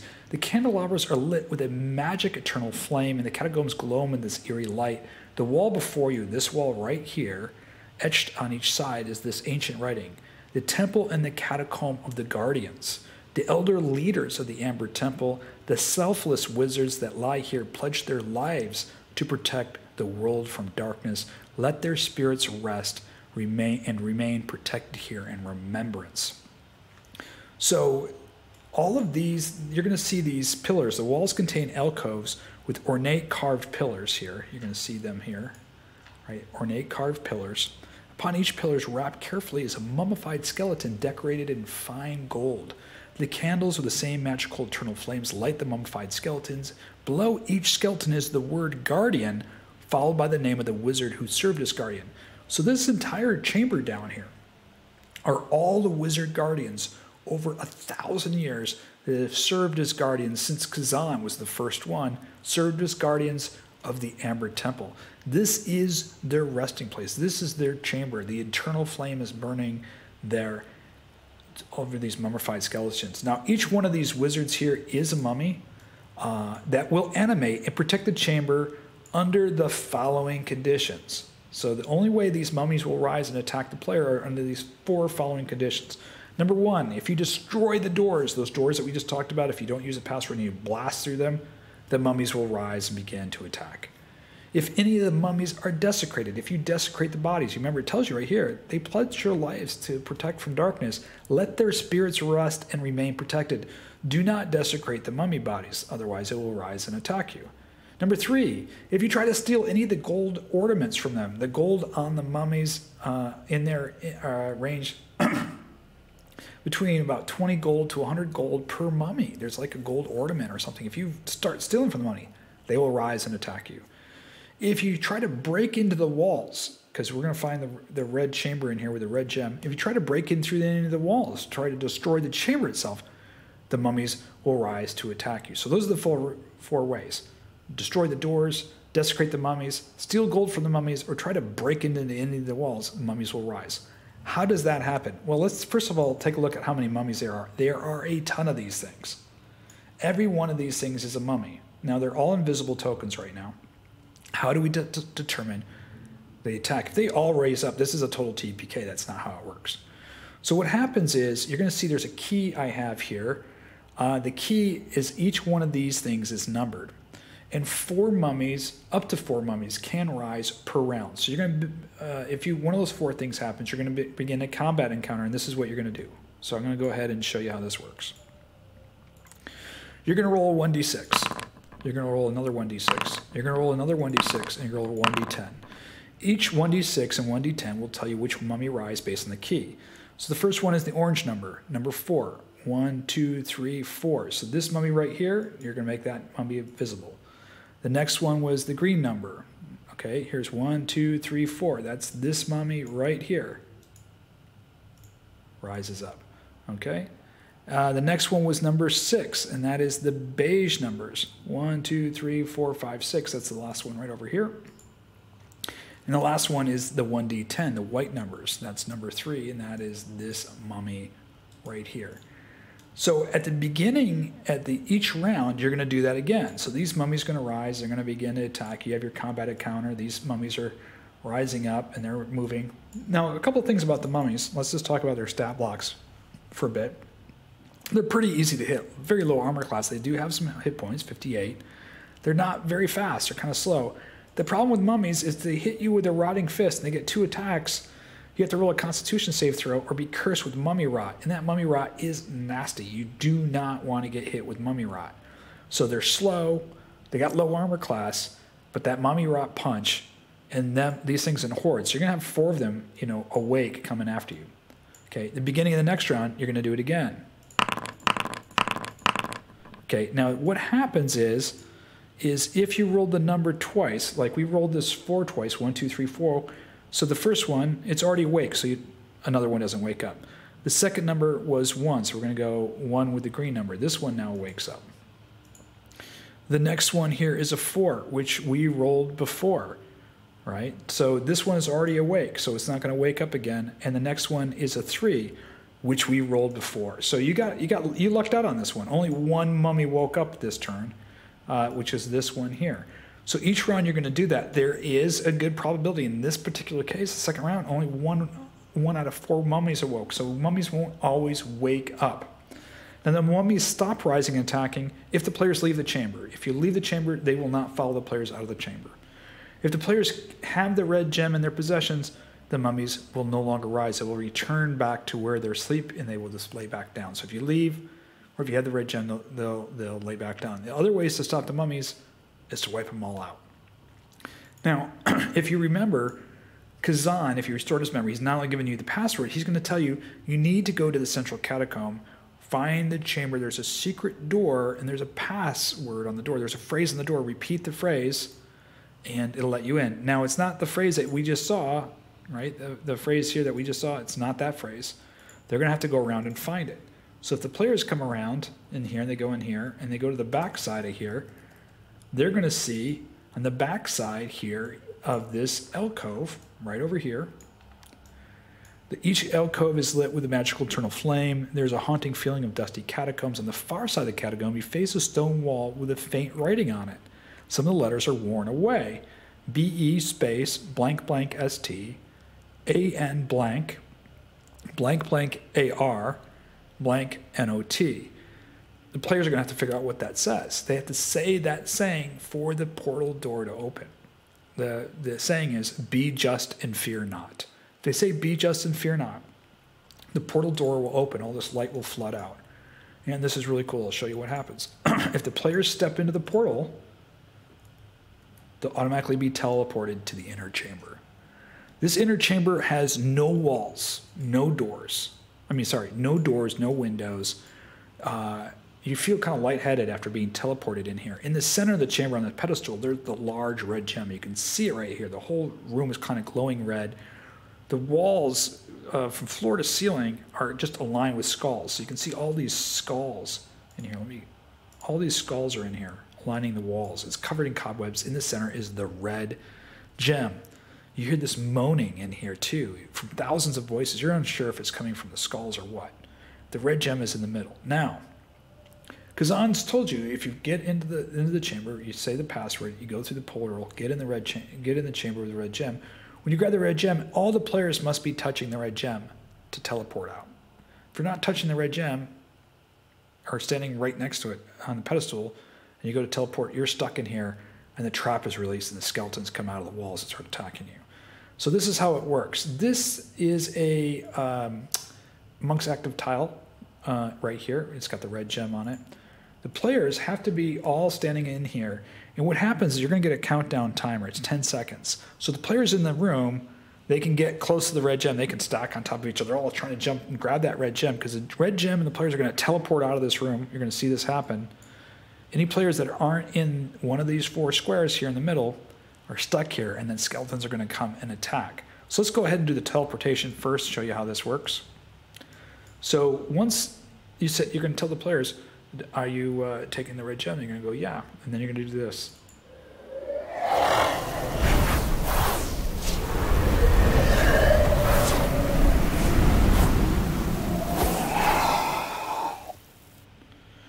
The red gem is missing, the player is going to open up and be in this room here, and the players will teleport. All the players will teleport that are next to the red gem, touching the red gem. Any players who didn't touch the red gem, they're going to stay in here. So if you're not, if you're in a square away from the red gem, one of these squares far away from the red gem, you're not, you're not on the uh, pedestal. Um, you're going to remain here. And as soon as you remain here, what's going to happen is all of these inside here, coming out of the walls, are these skeletons. And you can see these skeletons kind of emerging out of the wall, coming crackling, coming out of the wall, and they begin attacking your players. Now, these are normal skeletons. They're super low level. They're super easy. They're a nuisance. The problem is, is your player has no way of getting out of this room unless they bust down the wall. So now you've got these skeletons uh, AC 13. They're not too strong. You'll be able to get rid of these skeletons pretty much in short order. They come out of the wall, but they're going to freak you out. You're going to be stuck in this room. The only way to get out of this room is either bust the wall or the players have to go all the way back around, come through the portal again. So, you know, if a player comes through the portal again, if they come over here, now they got the red gem, so the mummies aren't attacking them. They come back in here. They'll come in here with the red gem again. Once they're in here with the red gem, they can, on their command, tell anybody, here, touch the red gem with me, and then you guys can teleport. You know, you could just teleport out again. You'll teleport out right here.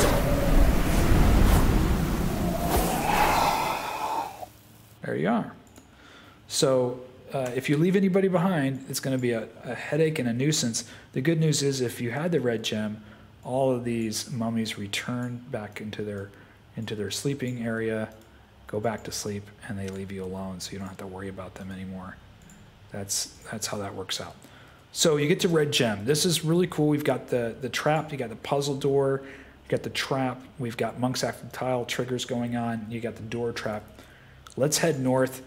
Uh, and check out two more really cool rooms here. So in the north here, we're going to start off in the room over here. Uh, uh, up here. Let me make sure these are turned off. Yeah, they're all turned off. We have the Amber Shrine. Now, this is changed from rules as written. You, you, the doors have been busted down and smashed lying on the floor. Now, the broken furniture, vases, chest, old weapons, bones laid scattered about the floor from a fierce battle from centuries ago. The alcove to the north, that's up here, is empty, but a purpose built to house something very large. In the north east uh, west corner, there's a small pile of bones up here on the floor, some skulls on the floor. The room shows signs it was once a place of worship. There are frescoes on the wall that tell the story of the Amber Temple, from the construction to its completion. The frescoes are wizards shaping the Amber Temple, uh, Amber sarcophagi and stuff. There are frescoes painted on here. This was a shrine. This was a place of meditation for the wizards to come and meditate. And when uh, the Amber Vaults uh, were breached, when the Amber Temple was breached, some of the wizards held up in here and barred the door. And obviously, Strahd and some bad guys got through here. There was a nasty fight, and the four wizards in here were killed.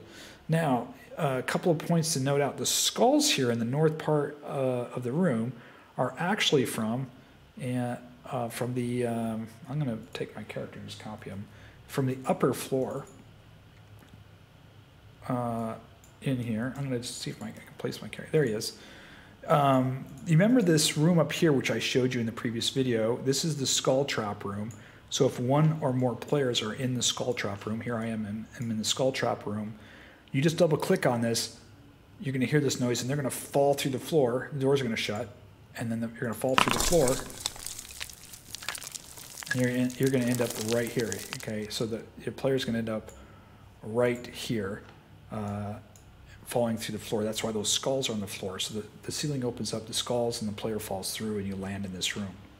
Now, in this room, there are four wizard ghosts. The wizard ghost won't come to life unless you start messing with the remains, the dead. So if you start messing with the, the skeletons and stuff in here, start touching them, the wizard, the wizard ghost will come to life. Here they are.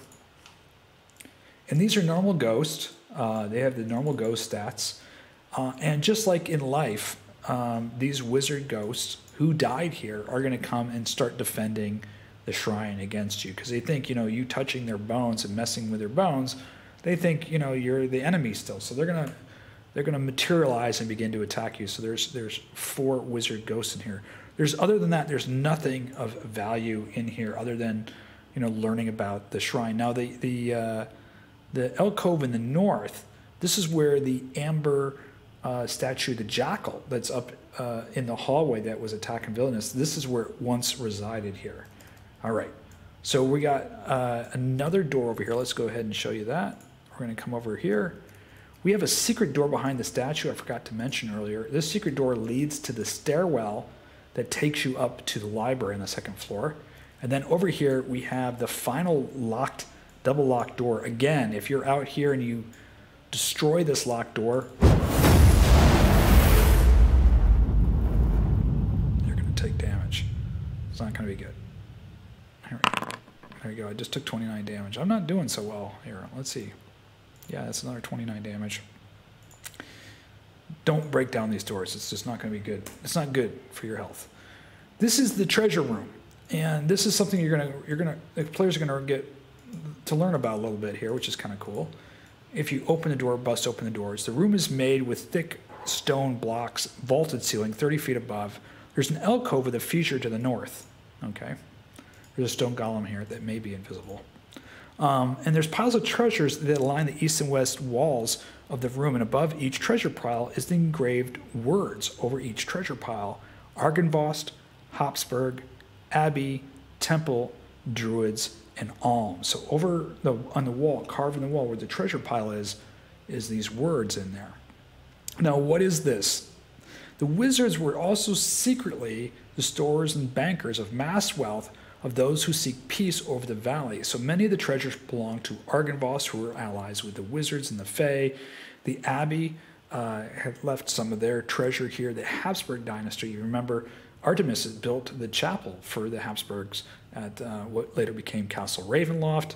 Uh, the the Druids' treasures are here as well. So is the uh, the the Amber Temple's treasures, and then they also have alms for the poor here because uh, the wizards and the druids, as well as the abbey, would, would try to buy food and, and water and, and help the poor. This is the secret bank, uh, the secret vault to the, the, the treasures uh, within uh, Barovia that nobody knew about. What better place than the, the inside the Amber Temple and, and guarded here in the Amber Temple um, until Strahd breached the vaults. Now, the players that can intend to open the doors obviously can suffer that damage there if they open the door. Door they had the damage, but the the, the uh, there's amber golem in this room, which will automatically become invisible uh, if the uh, if the if the doors are um, breached that way, become uh, invisible. If the if the players enter using the password, you're going to see this giant amber golem. You can see it right here. It's got this kind of weird amber lighting on it. It stands in the room. The Amber Golem will not do anything to the players unless the players take the treasure. Let's talk about the treasures here before we get into the Amber Golem. So on the west side, you have one, two, three piles. The first pile is Argynvost treasures. It's 8,000 loose gold pieces. It's 40, 20, uh, 50, 50 gold pieces, 40, 40, 20 gems worth 50 gold pieces each.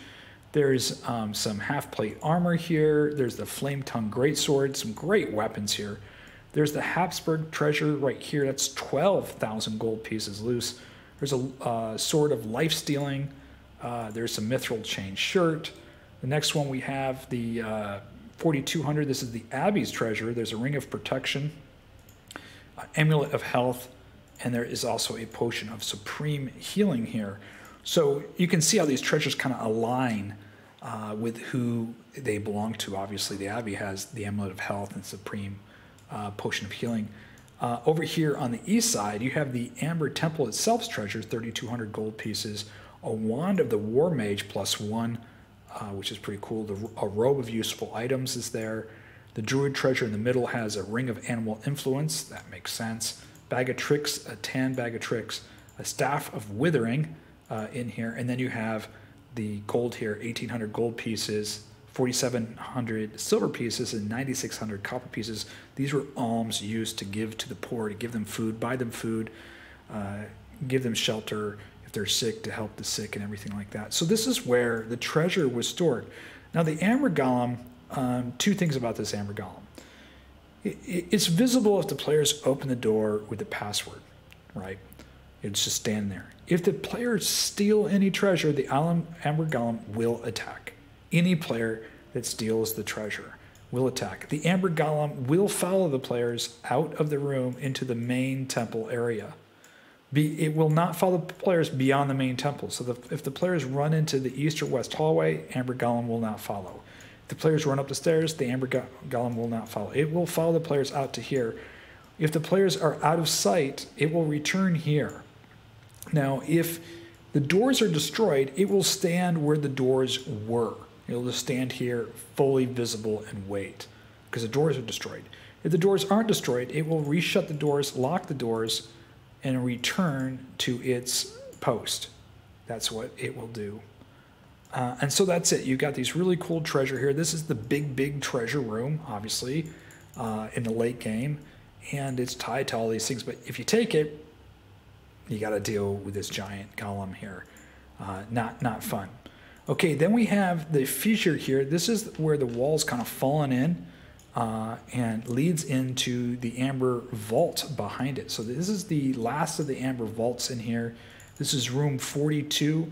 Uh, this also, there's a big staircase. This staircase is the staircase from the library. So if you're in the library on the top floor, this, this staircase leads down to the lower amber vault 42. And there's some big changes here. The first thing that you notice in the Amber Vault 42 obviously is the block marble staircase, some relief sculptures of some gods and kings on the wall. There's the there's the fissure in the wall in the southeast corner. But there's six crates in here. They're covered in dust. Now, rules is written. These were vampire spawns again. We've already done this once before in the coffin making shop. I just thought, you know what? Let's not have, you know, why would there be vampire spawns in crates here? Right? Instead, these crates contain magical items that the wizards have found over the centuries and they've been putting in here for storage. Except for these aren't treasures you would store in the treasure rooms, these are cursed items. So each one of these things has what appears to be a very expensive magical item, but they are cursed in each crate. So if they open up the first crate, they'll, they'll run an Arcana check, DC 15. They'll realize it's powerful magic. They won't know what the magic is. Arcana check will not reveal what the magic is other than it's powerful magic. The only way for them to learn what the magic is and that it's cursed is using the identify spell or they have to attune to it. So the first one, you had this golden plate armor. Um, this plate armor, you're going to decide as the game master is that it is uh, resistant to bludgeoning, piercing, or slashing. You'll decide one. Maybe it's resistance to bludgeoning, but it's cursed. The player won't know it until after they put it on that it's vulnerable to the other two. So if it's if it's resistant to bludgeoning, it's vulnerable to piercing and slashing. But it just looks like this beautiful golden plate armor, worth a lot of money. There's this black plate armor, looks pretty cool. Um, when you put on the armor, you gain a plus one bonus to your AC. Uh, you can understand and speak Abyssal. In addition, the army has these claw gauntlets for some additional strikes. However, wearing this armor, you have disadvantage on attack rolls against vampires. This is the black plate armor of vampires. So when you're attacking a vampire, you're going to be rolling disadvantage on your attacks. Huge curse, not good at all. You're not going to realize this until you have the identify spell or you put it on, and you can't you can't get rid of it. You can't get rid of the uh, the the curse, and you can't take it off. You're attuned to it. The gold sword here, we've got this beautiful gold sword. It looks like it's worth a lot. Uh, you have to roll a wisdom save uh, in combat. If on a failed save, you're going to attack the creature that damaged you until it drops to zero hit points, until you do or it does, or until it can't be reached. So you're just going to go keep on attacking that creature that attacked you until you kill it with your sword. You're going to be focusing using that your sword to constantly kill it until it kills it or kills you. So you, you, you come into this obsessed, you know, kind of killing rampage. The gold shield, this is horrible. This is a magnet for a missile weapon. So if a missile is fired at somebody within 10 feet of you, that, that arrow or whatever is being fired at you, that boulder arrow is going to go right towards you. So this shield is like a magnet for, for inbound weapons. Horrible, horrible. The golden necklace with blue stone, you're going to get an advantage on an ability check. But guess what? The next two ability checks are going to be at disadvantage. You can't get rid of this thing either. This thing is thing is horrible. Every time you get rid of it, it reappears on your neck. Last but not least, we have the gold great axe. It's the berserker axe. You're going to go berserk. You're going to have to roll a wisdom save after using this thing. If you fail, you're going to make you're just going to start attacking any creature that's close to, towards you. So each one of these things are cursed. The wizards found these things. They boxed it up. They stuck it in here uh, thinking that this was probably one of the most protected vaults you have to get. You have to find into the secret room to get into the library to get down here. Um, it was probably being they were probably being studied at one time. It's near the library up above, but they're stored here because they're cursed, cursed items. Players will not know this unless they use that identify spell or they put it on. So it's pretty cool instead of vampires popping out of the box. Okay, we have a new um, uh, a, since we got rid of the vampire. Uh, uh, Dark Vestige. Remember, it's been destroyed. Um, Strahd released it. We've got a new one in here. So let's let's bring our our, our character in here. Here he is. And uh, oh, I just did that accidentally. Sorry about that. I, I threw him right. I put him in the upper temple because I pushed him through the. Let's let, let him go back downstairs. There we go. I'll go back downstairs. Here I am, back in the downstairs. There I'm in the Amber Temple. I'm going to come out. Say hello to say hello to my friend, and now we're down here. We'll go ahead and start with uh, this one over here on the, the the east side. I raise my hand and I touch the amber sarcophagi, and I live between the worlds of life and death. I know of those whose time has not yet come. Accept my dark gift and give those who have passed one last bite at the apple of life. Very interesting. He knows whose time has not yet come. Accept my dark gift and give those who have passed one last bite at the apple of life. So you're standing in this forest. What you're visioning, you're standing in this forest, blanketed mist. Before you is a single gravestone. Roots begin to break the surface uh, of the moist ground and wrap around the gravestone. The ground breaks away and the gravestone rises up, and you begin to realize the gravestone is not a gravestone, it's the head of a creature. Let's take a look at this thing. Look at this thing, just rising up out of the ground. It gives us a clue. This is a super powerful one. This is the dark gift of resurrection. Wow, this is a really important dark gift, especially in this game, which you probably have players dying. This recharges on the six on a long rest. So you can't use it over and over again. It recharges on the six. You can also cast Death Ward on yourself, which recharges once after a long rest. So you get double, double dark gifts. Really cool. The physical change, the, the receiver of this gift takes on a corpse like appearance and can be mistaken for the undead. Each resurrection, the appearance grows more corpse like. You speak and think only on death all of the time. What is your your boon? Your you roll advantage on death saves and constitution saves. How cool is that? However, here's the big one. Each resurrection you do, you permanently lose 3d6 hit points. So if you use your resurrection, you're going to have to roll your charisma save to see if you go have short-term madness. And then the first time you do it, you as DM are going to say, you need to roll 3d6. Okay, you go, I rolled a 10.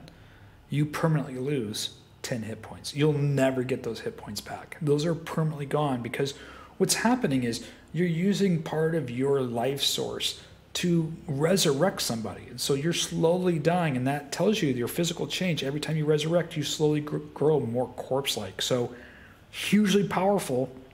You get to resurrect people, but you're slowly dying every time you resurrect somebody after this. So, this is a really cool one. Unfortunately, you're slowly losing hit points here. Let's not Ooh, 16. That's bad. You're going to lose 16 hit points. Permanent hit points. Permanent. You're never getting these back. Got to think about using this one. All right. I'm going to head over uh, to the opposite side. This is where the vampire one was, which I changed. We got a whole new dark gift here. Let's check it out. I raise my hand. I touch the amber sarcophagi and.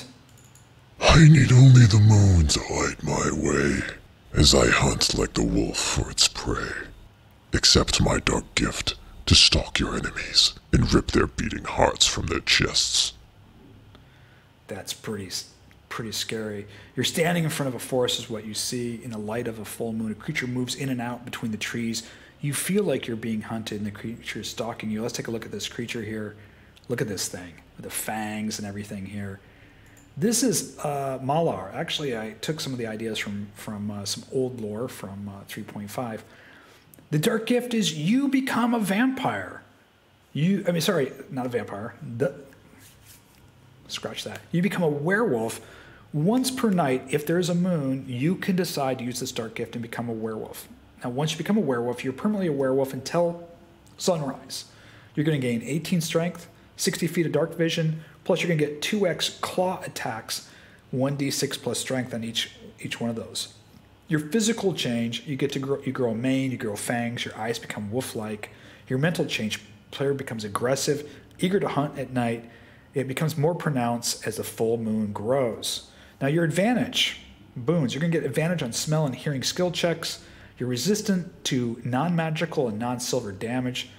Uh, uh, silver damage totally cool, totally cool. Your Bane, the nights the nights you do decide to become a werewolf, you use your dark gift, you're only going to gain 50% of your benefits during your long rest. So if you're going to only get 50% of your hit point backs or whatever you're getting back, you're only going to get 50% back. It's not good. On a full moon, the DM controls your character if it's not restrained with silver manacles. So if it's a full moon, that night you automatically become a werewolf. DM controls your character unless You've been shackled with silver silvered manacles. Again, you're not going to know about these boons or banes until they manifest, but you can turn into a werewolf on command. It lasts again for the whole evening till next sunrise, getting that 18 strength, 60% dark vision, double claw attack, uh, 2x claw attacks, 1d6 plus strength. Pretty cool uh, in there, becoming uh, a werewolf with these simple features here. Last but not least, the most powerful of all the dark gifts. I place my hand on the final amber sarcophagi.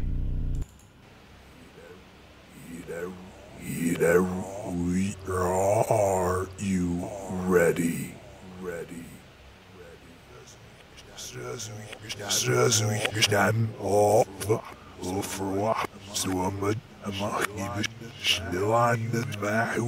Do you have the knowledge to become the most powerful of all magic users?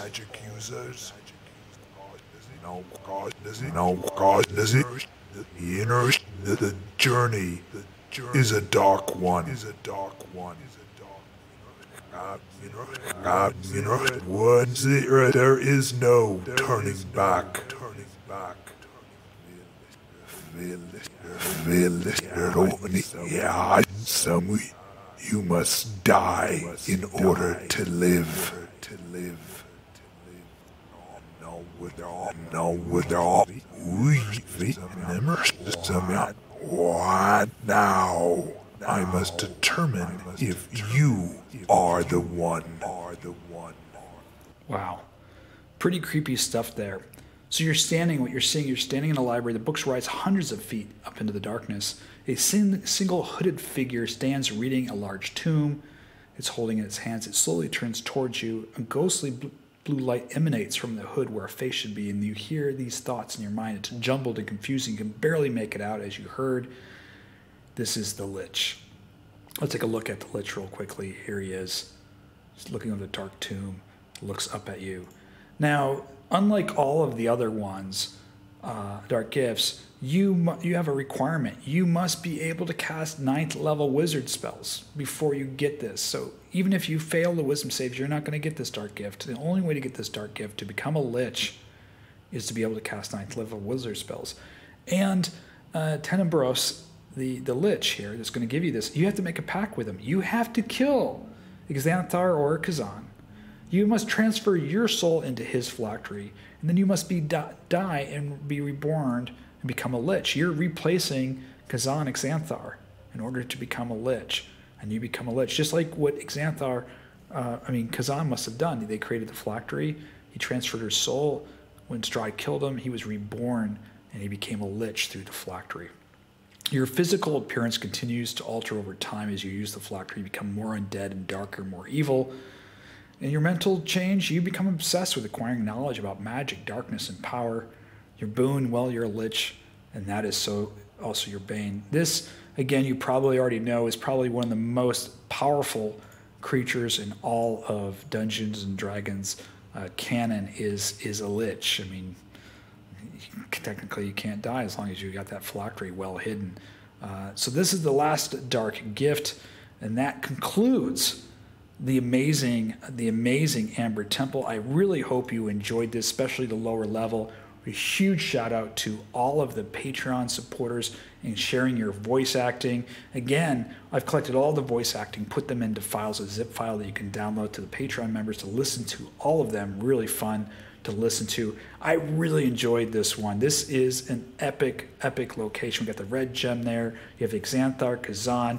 You've got the upper floor where you've got the the uh, the plans to Ravenloft. So many dark gifts and dark powers here. I really hope you like what I put together here. If you did, click that like, that thumbs up button. That lets me know that I'm on the right track, that you're enjoying these guides. Hit subscribe, and if you'd like to participate or want to be on this epic journey with me, you can by becoming a Patreon member. Again, that link's down below. Patreon.com forward slash Pyram King. Until next time, may all your rolls be critically successful.